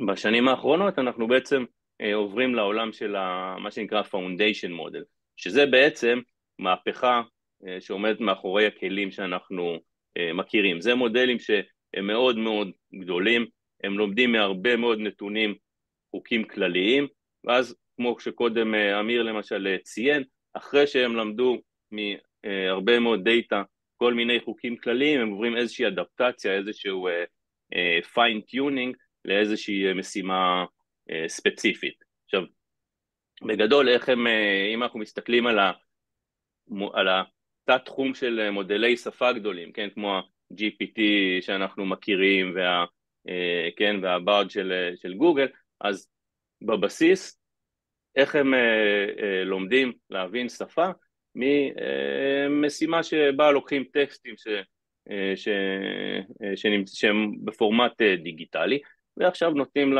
למודל לנסות לחזות את המילה הבאה בטקסט. אתם יכולים עכשיו לחזות את המילה הבאה בטקסט? כמובן שלא, אבל בואו נתחיל לחשוף אותו. אוקיי, אז it, ואת אה, תרשמו בהודעות מתי נראה לכם שאתם יכולים, או מה נראה לכם שזה המילה הבאה בטקסט. אז it was the best. יש מישהו שיכול כבר להגיד מה, בסבירות גבוהה מה המילה הבאה? times. אוקיי, okay, מעולה. אז it was the best of times, it was... כן, the worst of times. כן. אז בגדול ככה אפשר לקחת הרבה מאוד data, זו שיטה מאוד uh, חדשנית לאיך בעצם uh, uh, לאפשר למודלים כאלה ללמוד מההמון data שיש שמסתובב באינטרנט בלי שצריך לשבת בן אדם ולתייג למודל uh, בעצם לייבלים שמהם הוא, הוא צריך ללמוד ואז זה בעצם הופך את כל ה data שנגיש בצורה uh, דיגיטלית למאמר, למאגר למידה עבור המודלים האלה ואז אחת השאלות, כן, זה מה נדרש בשביל לבנות את, ה, את המודלים המאוד מאוד גדולים האלה. אז אה, בגדול, שלושה סוגים עיקריים של משאבים, אני עושה לה, לדבר הזה רדוקציה, אבל דבר ראשון זה כוח חישובי, אוקיי? אז זה הבולט הראשון. אם נסתכל על GPT-4 שעומד מאחורי ה-Chat GPT-4 שזה כרגע המודל הכי מתקדם של OpenAI, אוקיי אז הוא עבר אימון על 20, סדר גודל של 25 אלף GPU ים שזה סוג של מעבד שהוא מאוד מאוד יעיל למשימות של training של בינה מלאכותית בערך ב-100 ימים, זאת אומרת 25 אלף מעבדים רצו בערך 100 ימים רק בשביל לעבד את כל הטקסטים האלה ש, שהביאו לה, למפלצת הזאת. מבחינת data, אז GPT-4 אומן בערך על 13 טריליון token ים, tok, לצורך העניין token בואו לא ניכנס למשמעות ה-NLP, תחשבו על זה בתור מילה, אז טקסטים שבסך הכל כוללים 13 טריליון מילים, והדבר השלישי המאוד מאוד חשוב שצריך בשביל לעשות את הדברים האלה זה know-how, כן, human experts ש, שהם יודעים לחבר את כל הדברים האלה. אגב, אתמול ראיתי שאנג'יניר ב-OpenAI שיש לו את המומחיות הרלוונטית הזאת, מקבל 800 אלף דולר בשנה סדר גודל משכורת. זה אנשים, המומחיות הזאת היא מומחיות שהיא, שהיא אה, לא שכיחה וכן, והיא מאוד מאוד יקרה, אבל בגדול אלה שלושת ה, ה, הדברים המרכזיים שצריך והדבר הזה הוא מאוד מאוד יקר, כן? אם אנחנו מסתכלים על GPT-4, הכל, הכל מדובר אגב בהערכות, כן? כי הם לא חושפים את זה, זה כל מיני אנשים ברשת עושים כל מיני אה, אה, ניתוחים, כמה עלה להם, על כמה עשו, כל מיני, חלק מהדברים הם חושפים. אה, אז אה, רק לאמן את הדבר הזה, כן, זאת אומרת לבנות את המודל על הסדר גודל של 100 מיליון אה, דולר והעלות היומית של להפעיל אותו, זאת אומרת לשרת את כל המשתמשים שעכשיו מגישים לו בקשות, זה סדר גודל של 700 אלף דולר. אז שוב, תעשו את המתמטיקה, אמרתי קודם שזה הפך להיות משחק של ענקים, אז תעשו את המתמטיקה, כמה כסף צריך בשביל לבנות ולהריץ אה, מודלים כאלה, וזה אה, לא, אה, לא, לא מעט, כן?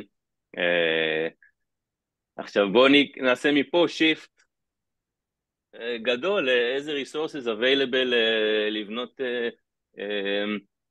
מודלים LLM כאלה, large language models בעברית. אז תראו, פה לקחתי כרגע הפרויקט הכי עדכני בתחום של אה, בנייה של אה, LLM ים לעברית, אז הוא קורא באיזשהו מאמץ כזה חצי קהילתי אה, של קהילת ה machine ו deep learning בישראל, זה מתוך פוסט שבו בעצם המומחה שבונה את המודל הזה מדווח לקהילה על ההתקדמות שלו, וזה למיטב ידיעתי המאמץ הכי מתקדם אה, שקורה היום, וזה באמת אנשים שצריך להסיר בפניהם את הכובע, כי הם, הם עושים את זה אה, פחות או יותר אה, בהתנדבות, זאת אומרת זה מאמץ בעצם קהילתי הדבר הזה, ותזכרו מה שאמרתי קודם, 25 אלף מעבדים, כן, 13 טריליון טוקנים, אז פה אנחנו מדברים על מודל שהוא לפי הדיווח של. אה, המומחה ש, שמאמן אותו כמה מיליארדי טוקנים, טריליון זה אלף מיליארדים, כן? אז אנחנו מדברים פה על, אה, תחשבו על כמה סדרי גודל יותר, אה, יותר דאטה. עכשיו האיכות של המודלים היא נגזרת כמובן בין השאר מהאיכות של, ה, של הדאטה, האיכות וה, והכמות שלו, ה-13 טריליון טוקנים של, ש, ש, שאמרתי קודם, אז זה לא רק טקסטים באנגלית, זה טקסטים בעוד שפות, וזה טקסטים של שפות תכנות, אבל תחשבו על, ה, על היחס הזה, ואם אה, בכמות הדאטה, ואם נסתכל על אה, אה, כמות המשאבים החישוביים אה, ש, שיש לנו, אז דיברתי קודם על 25 אלף GPUים, אה, אז פה אנחנו מדברים, כן, על אה, חמישה. זאת אומרת המאמץ הקהילתי הזה של לבנות אה, אה, מודלים גדולים לעברית, אז זה כאילו, זה, זה, זה, ה, זה היחסים כרגע, ושוב, אני לא בא להעביר ביקורת על אנשים שעושים את זה, אני אומר להם תודה גדולה. מה שאני רוצה לעשות זה להציף בעיה מערכתית ולחבר אותה להבטחות שקודם דיברנו עליהן של בינה מלאכותית גנרטיבית להוראה ולמידה, אבל איך, איפה היא יכולה לפגוש עברית, כן? עכשיו, עברית קשה שפה, כמו שאנחנו יודעים, גנבתי פה לתשבצאי ליאור ליאני איזושהי הגדרה, כן?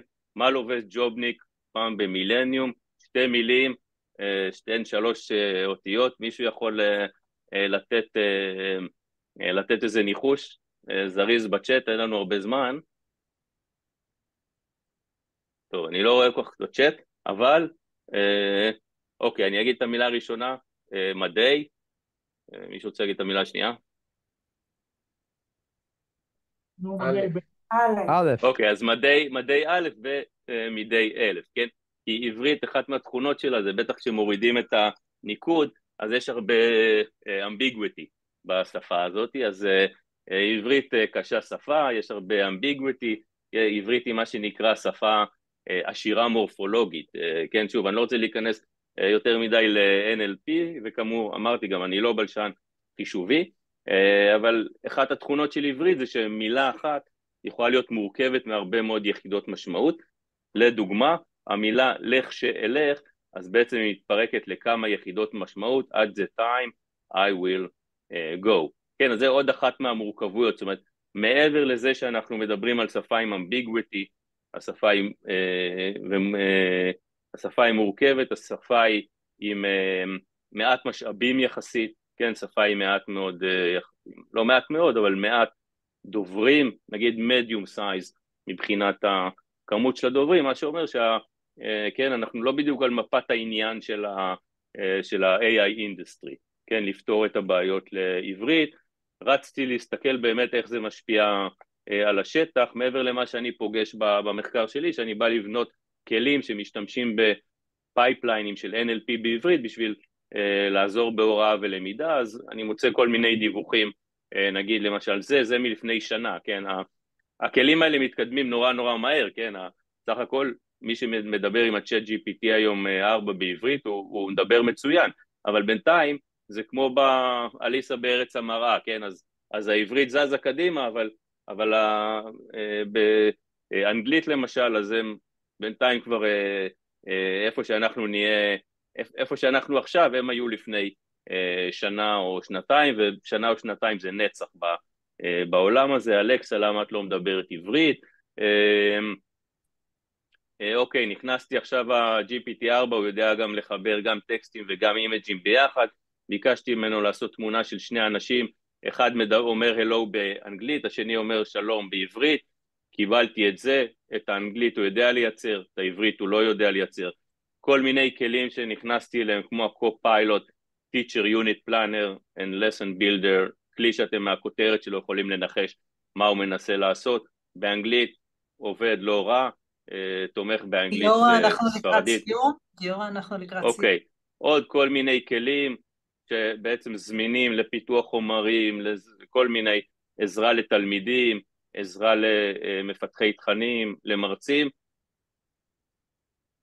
מעט מאוד מהם, לא פגשתי אחד שתומך ב, בעברית, ה implication של זה זה טכנולוגיות למידה מבוססות AI בעברית הם בפער מאחורי, ה, מאחורי העולם, הפער הזה הוא צפוי להישאר אם לא להתרחב, מה אנחנו יכולים לעשות? deus ex machina, כן? יכול להיות שכל מה שאני אומר זה לא נכון ובאמת הדבר הזה ייפתר כשלעצמו איכשהו כן? אני לא יודע איך.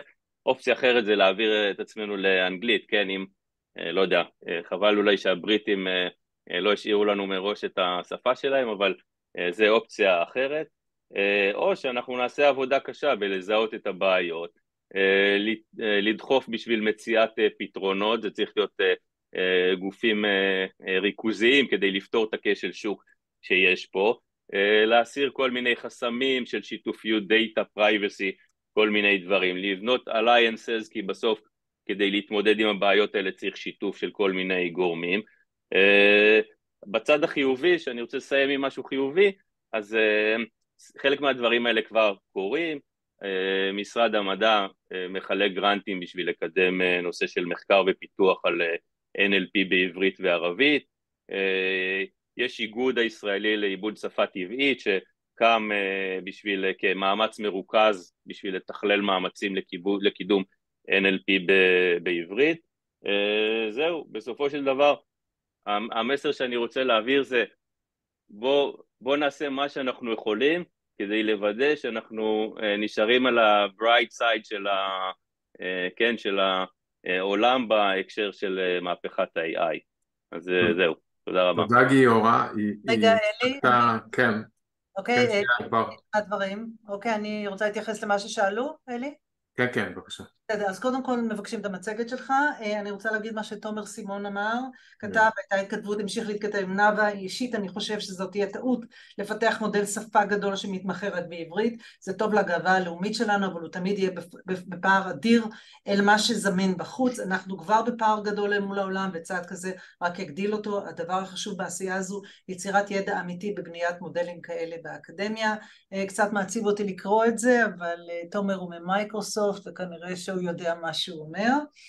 ושאלה שנשאלה, האם המשמעות היא שהאקדמיה תמשיך במגמת האנגליזציה שלה? זה שאלות אליי? כן, כן, כן. כן, גיורא. אתה רוצה... לגבי המודל שהוא מתמחה רק בעברית, אז המודלים ש... שמפתחים הם מודלים שהם מתחילים מאנגלית ועליהם מוסיפים יכולות של של עברית בדרך כלל, או, או מודלים של מה שנקרא מולטילינגואל, שלוקחים מודלים שיודעים כמה שפות ואז בונים עליהם אה, עברית, אה, אבל אה, מכיוון ש, ששוב, הדברים האלה דורשים, כמו, ש, כמו שאמרתי, כן, כמו שתומר מכיר מצוין, הם צריכים הרבה כוח חישוב, הרבה דאטה, צריך את המומחים ש, שיבנו את הדברים האלה, אז בלי, בלי מאמצים אה, אה, שמנוהלים בצורה מרוכזת, בהינתן ש, שיש כשל שוק, אז, אז הדברים האלה לא כך יכולים לקרות. למשל המאמץ הקהילתי הזה, אז הוא קצת ממומן על ידי המדינה, כן? אה, אבל בסכומים שרחוקים מהסכומים שאמרתי בהקשר של, ה, של, של OpenAI נגיד, בטח, אבל למשל באמצע הדרך הדבר הזה נתקע כי הוא רץ על שירותי ענן ונגמר הכסף שהיה בשביל לקבל אה, אה, שירותים בענן, אז יצאו בגיוס המונים בשביל לגייס כסף מהקהילה, בשביל שהדבר הזה יוכל להמשיך לרוץ. אז בצורה הזאת, אז, אז באמת אני לא חושב שאנחנו נוכל להישאר בחצי המואר של העולם. תודה, אנחנו צריכים להמשיך. כן, אנחנו נמשיך. תודה, אלי. כן. כן, תודה רבה גיורא, הערת פה נקודה גם בשיחות המקדימות שלנו שחשוב מאוד לבחון אותה ולראות איך מתמודדים איתה אני הבטחתי לפחות מהצד שלנו שאנחנו נעשה איזושהי חשיבה ותומר נמצא איתנו כאן אז, אז לגמרי אפשר לעשות איזושהי חשיבה משותפת ולראות איך מתמודדים עם סוגיה כזאת שלא נשאר מאחור אמ, ויש אה, דיון ער בצ'אט, אפשר להמשיך אותו, אנחנו נמשיך למרצה, לדוברת הבאה פרופסור אה, אורית פישמן אפורי אה, תציג לנו את ה-Gen AI וזכויות יוצרים, כל נושא זכויות היוצרים שהופך להיות אה, מאוד מאוד דומיננטי, הוא מתחבר בצורה זו או אחרת גם לאתיקה ואנחנו נשמע את ההרצאה. פרופסור אורית פישמן אפורי היא מרצה וחוקרת בתחומי הקניין הרוחני, משפט וטכנולוגיה ודיני תאגידים, כיהנה כדיקנית הפקולטה למשפטים במכללה למינהל, כחברה בבית הדין לתחרות וכחוקרת באוניברסיטת ברקלי בקליפורניה ובאוניברסיטת אה, קיימברידג'. לאחרונה נבחרה לנשיאה הבאה של הארגון הבינלאומי לקידום ההוראה והמחקר בתחום הקניין הרוחני, אטריפ, תקני אותי אם טעיתי. אה, במחקריה מוצגת בחינה רב-ממדית של סוגיות שונות בתחום, מתחום הקניין הרוחני והמשפט והטכנולוגיה, ומיטל ואורית בקשר המון שנים סביב הנושאים האלו, ונשמח לשמוע את ההרצאה. בבקשה אורית. יופי, תודה רבה. אז שומעים אותי ורואים את המצגת? כן. יופי, מעולה. אז קודם כל גם תודה לאלי שהזמין אותי ותודה להרצאות לפניי. אז באמת ככה גם גילה וגם גיורא הרימו לי להנחתה. אז כמו כל משפטנית טובה אני אתחיל ואני אומר למה אני לא מתייחסת. אז אני לא מתייחסת לאתיקה ואני לא מתייחסת לפלגיאריזם, אני מדברת למש... על משפט ועל חוק. יש בעולם המשפט יש לנו הבחנה מאוד ברורה בין כללי אתיקה לבין חוק, כן, החוק הוא חוק וכללי האתיקה הם אינם נחשבים לחוק. אז אני אדבר על ההיבטים החוקיים ויותר נכון על ההיבטים של זכויות יוצרים ו-Generative AI ולמרות שאני אדבר על ההיבטים המשפטיים אני אשתדל לדבר בעברית ולא במשפט פתק כן אלא במונחים ברורים ובאמת אני מניחה שאני רואה שיש פה הרבה משתתפים אבל אני מניחה שהרוב המכריע הם לא משפטנים ואני צריכה לדבר בשפה נהירה לבני אדם אז כמו שאלי אמר יש לנו שיתופי פעולה כבר באמת המון המון שנים פורום השכלה נגישה אם מישהו מכיר ואנחנו בעצם מנסים לרתום את התובנות שלנו מעולמות הזכויות יוצרים לטובת ההשכלה הגבוהה ואני חושבת שאולי באמת אלי זה אולי כבר החזית הבאה שלנו כן לנושא הזה של שימוש איי לצורך ההשכלה אז רגע זה רץ לי. אז קודם כל בדברי הברכה כן התחילו ושאלו מה זה בינה מלאכותית. אז כמו שאתם מבינים אני מאוד אוהבת להשמיץ את המשפטנים. אז משפטנים חייבים להגדיר את עצמם לדעת כן כיסא הוא כיסא ודג הוא דג. אז כמובן שעלתה השאלה מבחינה משפטית מה, מהו AI או מהי בינה מלאכותית. ולפני ממש כמה חודשים ביוני האחרון זה אני חושבת שכל הנוכחים צריכים לדעת עבר באיחוד האירופי חוק ה-AI, זאת אומרת זה חוק מקיף ראשון, באמת landmark piece of legislation, חוק ה-AI שמסדיר כל מיני היבטים של שימוש במערכות AI, זה ברור שיהיה לזה השלכות מרחיקות לכת על השימוש ב-AI בעולם למי שמכיר למשל בעולם הפרטיות יש את התקנות הידועות ה-GDPR כן שהן גם אירופיות שהשפיעו על התפיסה של פרטיות בכל העולם קוראים לזה הבראסל אפקט כן שהאירופים מחוקקים לעצמם אבל זה הופך להיות הסטנדרט הבנצ'מארק לכל העולם. אז אני חושבת שהחוק הזה יהיה לו את אותו אפקט ולכן כל מי שמתעסק עם AI חייב להכיר את המסגרת הזאת. אז הם מאוד שברו את הראש איך להגדיר AI ונתנו איזושהי הגדרה מתחכמת כזאת של כן מין software that is developed עם אחד או יותר הטכניקות כפי שבנספח כן טכניקה של משפטנים לכו לנספח תראו איזה טכניקות. זאת אומרת מה שהם רוצים לומר שזה לא טכנולוגיה אחת אלא משפחה של טכנולוגיות. אבל מה שחשוב וזה הדגשתי באדום שהתוצאה של השימוש בטכניקות בטכנולוגיות הללו זה שהן generate הן מייצרות outputs such as content, predictions, recommendations, decisions וכולי וכולי. זאת אומרת הדגש הוא במה התוצר של המערכות הללו ואני חושבת שזה מאוד מתחבר לשיח פה של ה-Generative AI זאת אומרת הדגש הוא פחות על סוג הטכנולוגיה או איך בדיוק אנחנו נגדיר את המשפחה אלא מה זה עושה המערכת הזאת. עכשיו בגלל שיש לי זמן קצר ואמרתי אני משתדל שזה לא יהיה משפט פטט כאשר מדברים על הקשר בין השימוש בטכנולוגיות ג'ן איי לקופירייט אנחנו צריכים לעשות קו מאוד ברור בין הפלט לקלט, בין ה inputs ל outputs, בין החומרים שבהם אנחנו משתמשים לצורך האימון וההפעלה של המערכות לבין התוצרים של המערכות ובאמת הקו פה הוא מאוד ברור. עכשיו אני אתחיל עם ה outputs כי אני חושבת ששם אה, פשוט א' זה יותר פשוט וב' זה ממש ממש בחיתוליו. לעומת זאת ה input זה הרבה יותר מורכב ושם כבר יש לנו רגולציה קצת יותר מתקדמת.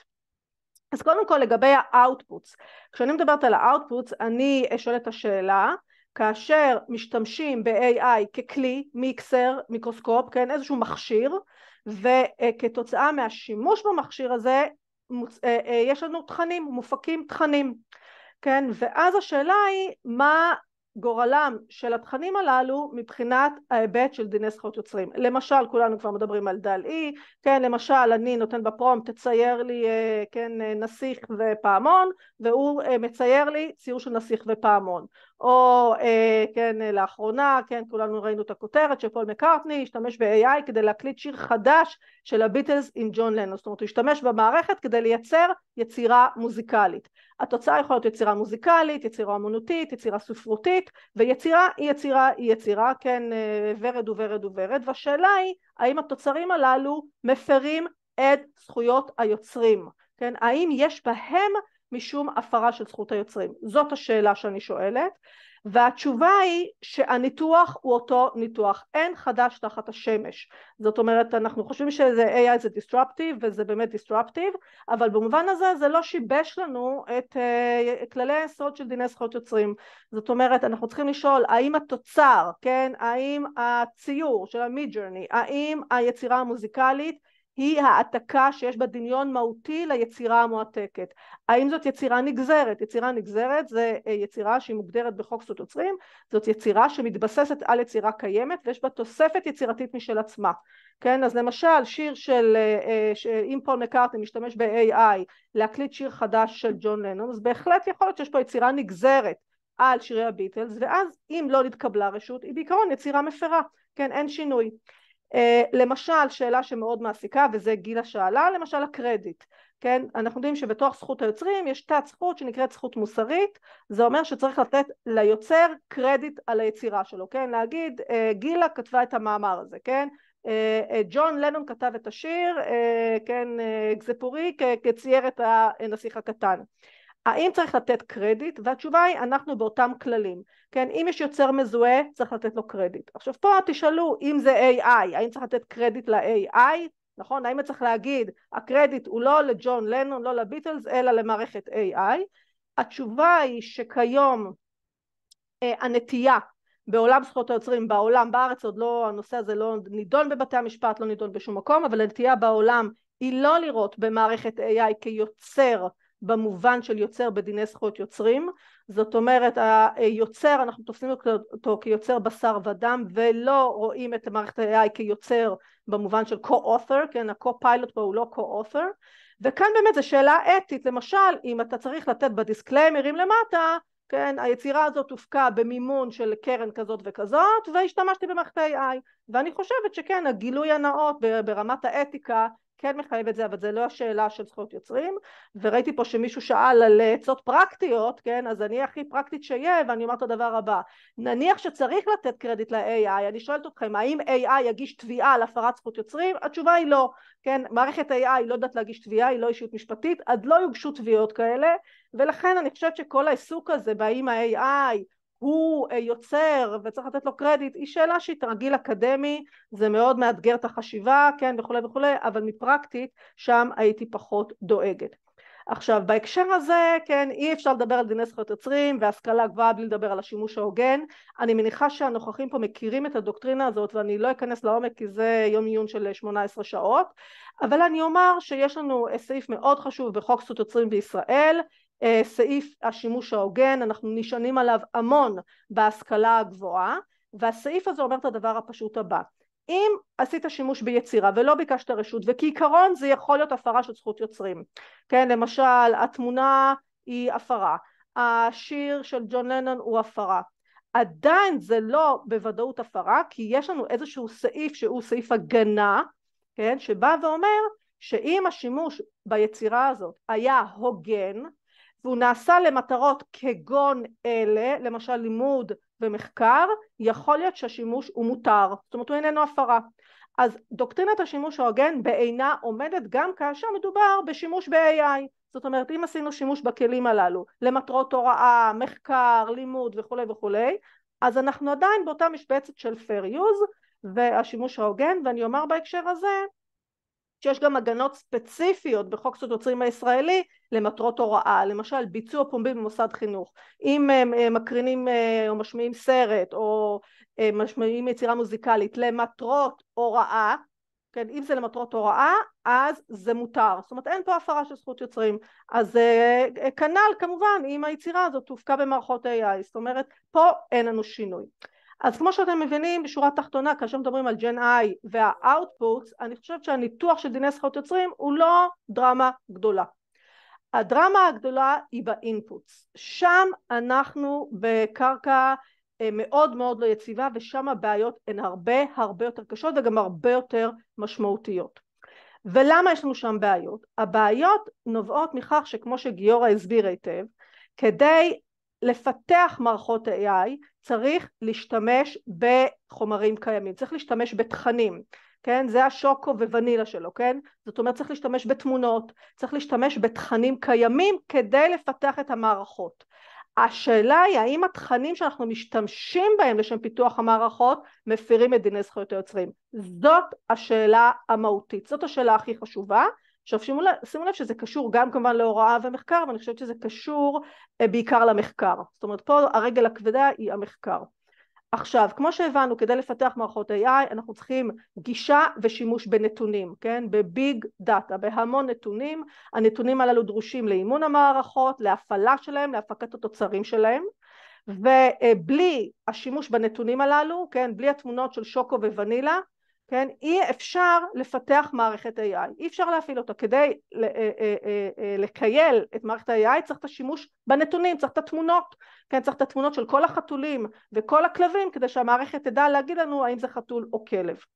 והשאלה היא איזה חסמים יש לנו מתחום דיני זכויות היוצרים שמונעים את הגישה והשימוש בנתונים. זאת שאלת מיליון הדולר.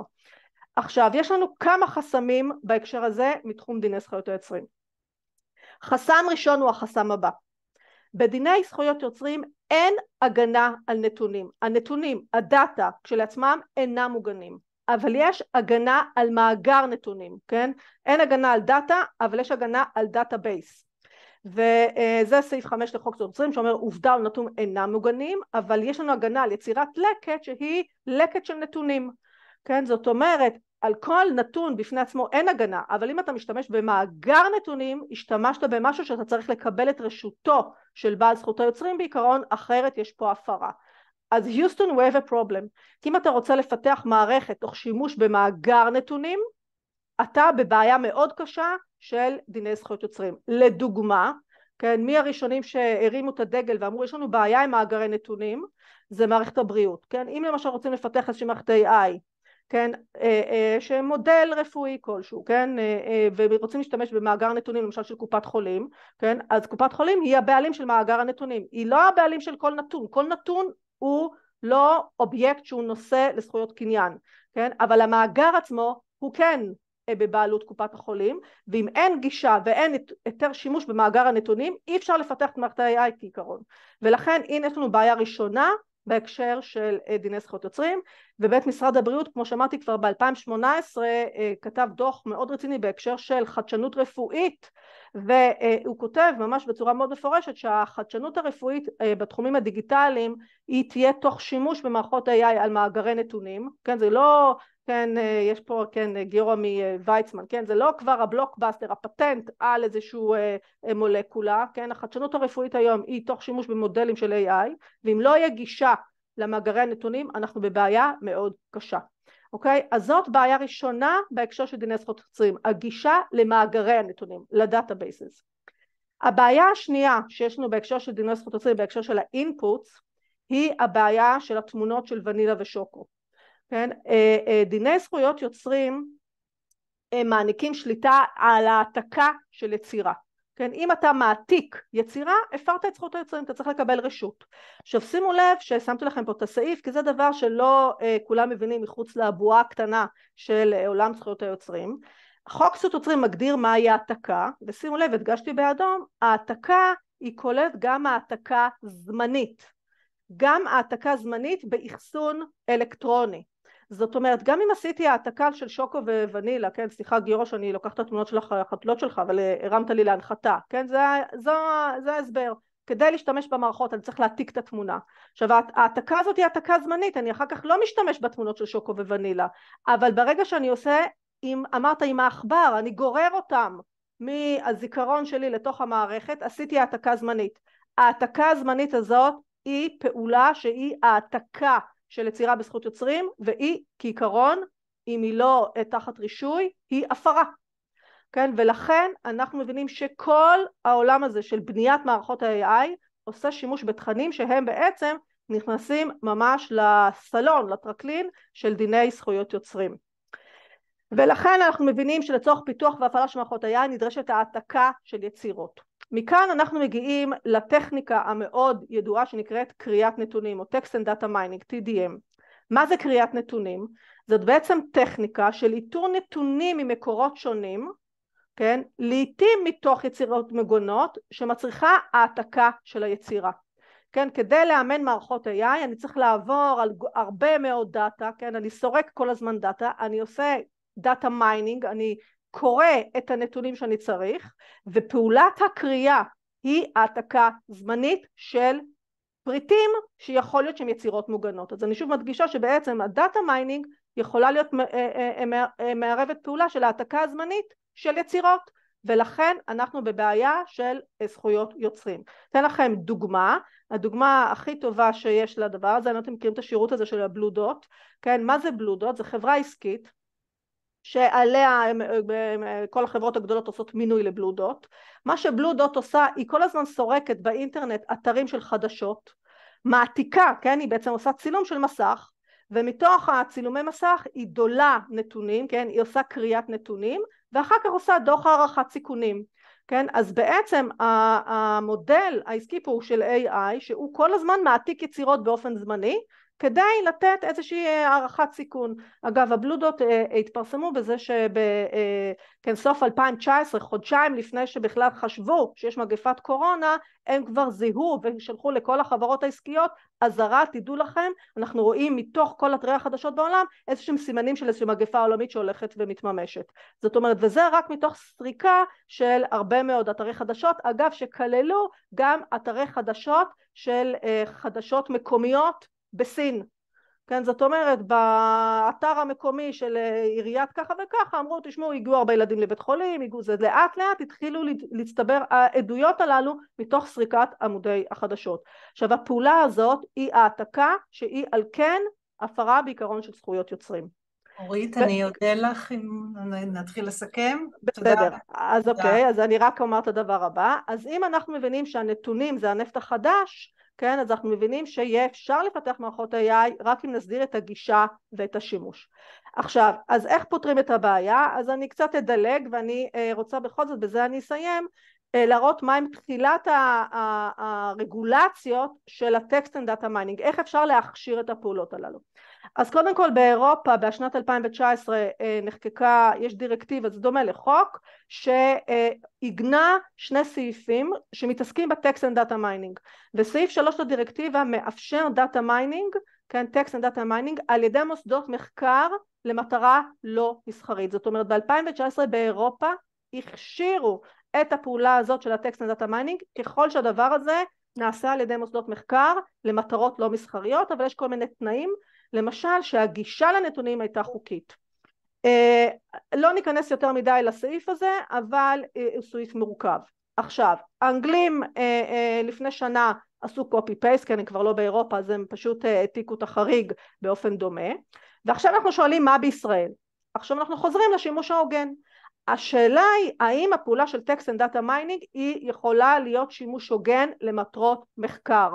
זאת השאלה כן? זאת אומרת אם זה fair use אז אנחנו נמצאים על קרקע בטוחה ואם זה לא fair use אנחנו בבעיה מאוד גדולה והיום זאת השאלה המשפטית שהכי מעסיקה את העולם הזה של הקניין הרוחני וה-AI גם בישראל וגם בארצות הברית. עכשיו הבעיה בשימוש הוגן שאנחנו לא יודעים כן? עד שבית משפט לא יכריע אנחנו לא נדע אם זה שימוש הוגן כן או לא. בהקשר הזה חשוב לציין עוד ממש שלושה משפטים ואני מסיימת.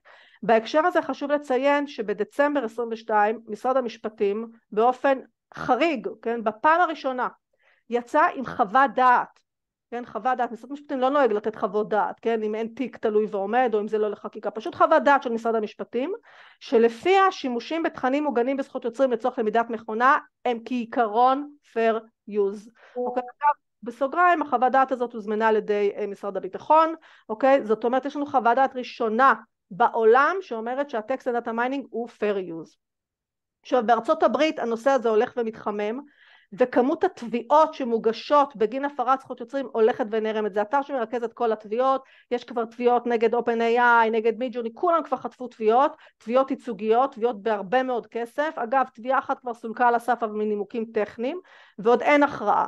עכשיו גם בארצות הברית הם הבינו שהם צריכים להתחיל לחשוב מה קורה עם ה-Generative AI וה-Copyright ובארצות הברית יש משרד זכויות יוצרים שלא כמו בארץ יש רק משרד הפטנטים וסימני מסחר בארצות הברית יש גם משרד זכויות יוצרים והוא הבין שחייבים לפתור את הנושא הזה והם יצאו באוגוסט בקול קורא לציבור לבוא ולחוות את דעתו בשאלה האם השימוש בטקסט ותמונות, כן, בשוקו וונילה הוא fair use כן או לא, ורק לפני שבועיים הסתיים הדדליין והוגשו הרבה מאוד חוות דעת, אוקיי, זאת אומרת משרד הזכויות יוצרים האירופי, סליחה האמריקאי, גם צריך להוציא חוות דעת האם זה יהיה fair use כן או לא. בישראל כמו שאמרתי, משרד המשפטים קבע שזה fair use, כן, זה המלצה, כן, השופט לא מחויב לזה, בארצות הברית אנחנו מחכים אה, למסקנה. אז זהו, אז כמו שאנחנו מבינים לסיכום, הזכויות יוצרים הם אתגר מאוד מאוד משמעותי לפיתוח ולהפעלה של מערכות AI וזאת החזית, פחות אני חושבת השימושים בתוצרים. תודה אורית. אלי, כן, המון המון תודה. יש המון שאלות בצ'אט אבל אנחנו גם צריכים לסיים ולפני שאתם באמת מרתק, אלי יום, יום שלם רק אורית עכשיו, זה ברור. אני מבקש מכם לפני שאתם הולכים לענות לנו לשאלה במנטי ומה שאני רואה אני אקרין לכם כרגע QR אם אתם צופים ב... רגע אני מראה לכם אנחנו רוצים לדעת מה הטייק-אווי שלכם מה... זה, הנה ה-QR כאן ובצ'אט כתבתי את הכתובת של המנטי אנא תענו לנו אני אוציא את זה תענו לנו אנחנו רוצים לשמוע מה הטייק-אווי שלכם? מה אתם לוקחים מהמושב, מהיום עיון? בעצם גם ילמד אותנו מה הציפיות שלכם. אתם ממש מוזמנים לסרוק אם אתם דרך הסלולרי ולענות. תודה רבה. תודה רבה לכם. מי שלא עונה והולך זה בסדר, תודה רבה. ובזמן שעונים אולי אני... אלי, כן, כן, כן. אנחנו נשמח אם באמת תענו מה התובנה שאפשר לקחת מהיום עיון הזה. אני רוצה קודם כל להודות לכל הדוברים, רגע, ברח לי פה המסך, להודות לכל הדוברים שנרתמו ליום עיון המרתק הזה, אנחנו חושבים שהוא יום עיון ראשון בסדרה שאנחנו נמשיך ונעשה עם, בנושאים נוספים, בנושאים יישומיים יותר, נחשוב ביחד איך לקדם את זה. אני רוצה להודות לצוות מיטל שהיה ככה שותף למהלך הזה, לא הזכרנו אותם קודם, לעדי קפואנה, לענת פלדמן ולאפרת שושני בכר שהיו שותפים לזה וכמובן לחברים שלנו בחולון שהיו שותפים מלאים לכל המהלך הזה. אז תודה רבה, אנחנו לקחנו מפה המון תובנות, אנחנו נמשיך את הפעילות הזאת סביב נושא AI זה נושא שנכנס יותר ויותר לחיי כולנו. ויהיו עוד ימי עיון וסדנאות בנושא הזה ונשמח גם לשמוע מכם רעיונות שאתם חושבים שנכון לקדם. אז תודה רבה לכולם. תודה, אנחנו נשאר כאן מי שירצה לשוחח איתנו, אלי בואו נשאר כמה דקות, תודה רבה לכם, בינתיים אנחנו מראים לכם את התשובות, תודה רבה. תודה, איזה כיף. תראה מה כתוב אורית, היית נהדרת, איזה כיף לקרוא כמה שאלות, וואו. תודה רבה. זהו, אז לא הספקתי, לא ראיתי את השאלות. אפשר לראות את ההקלטה.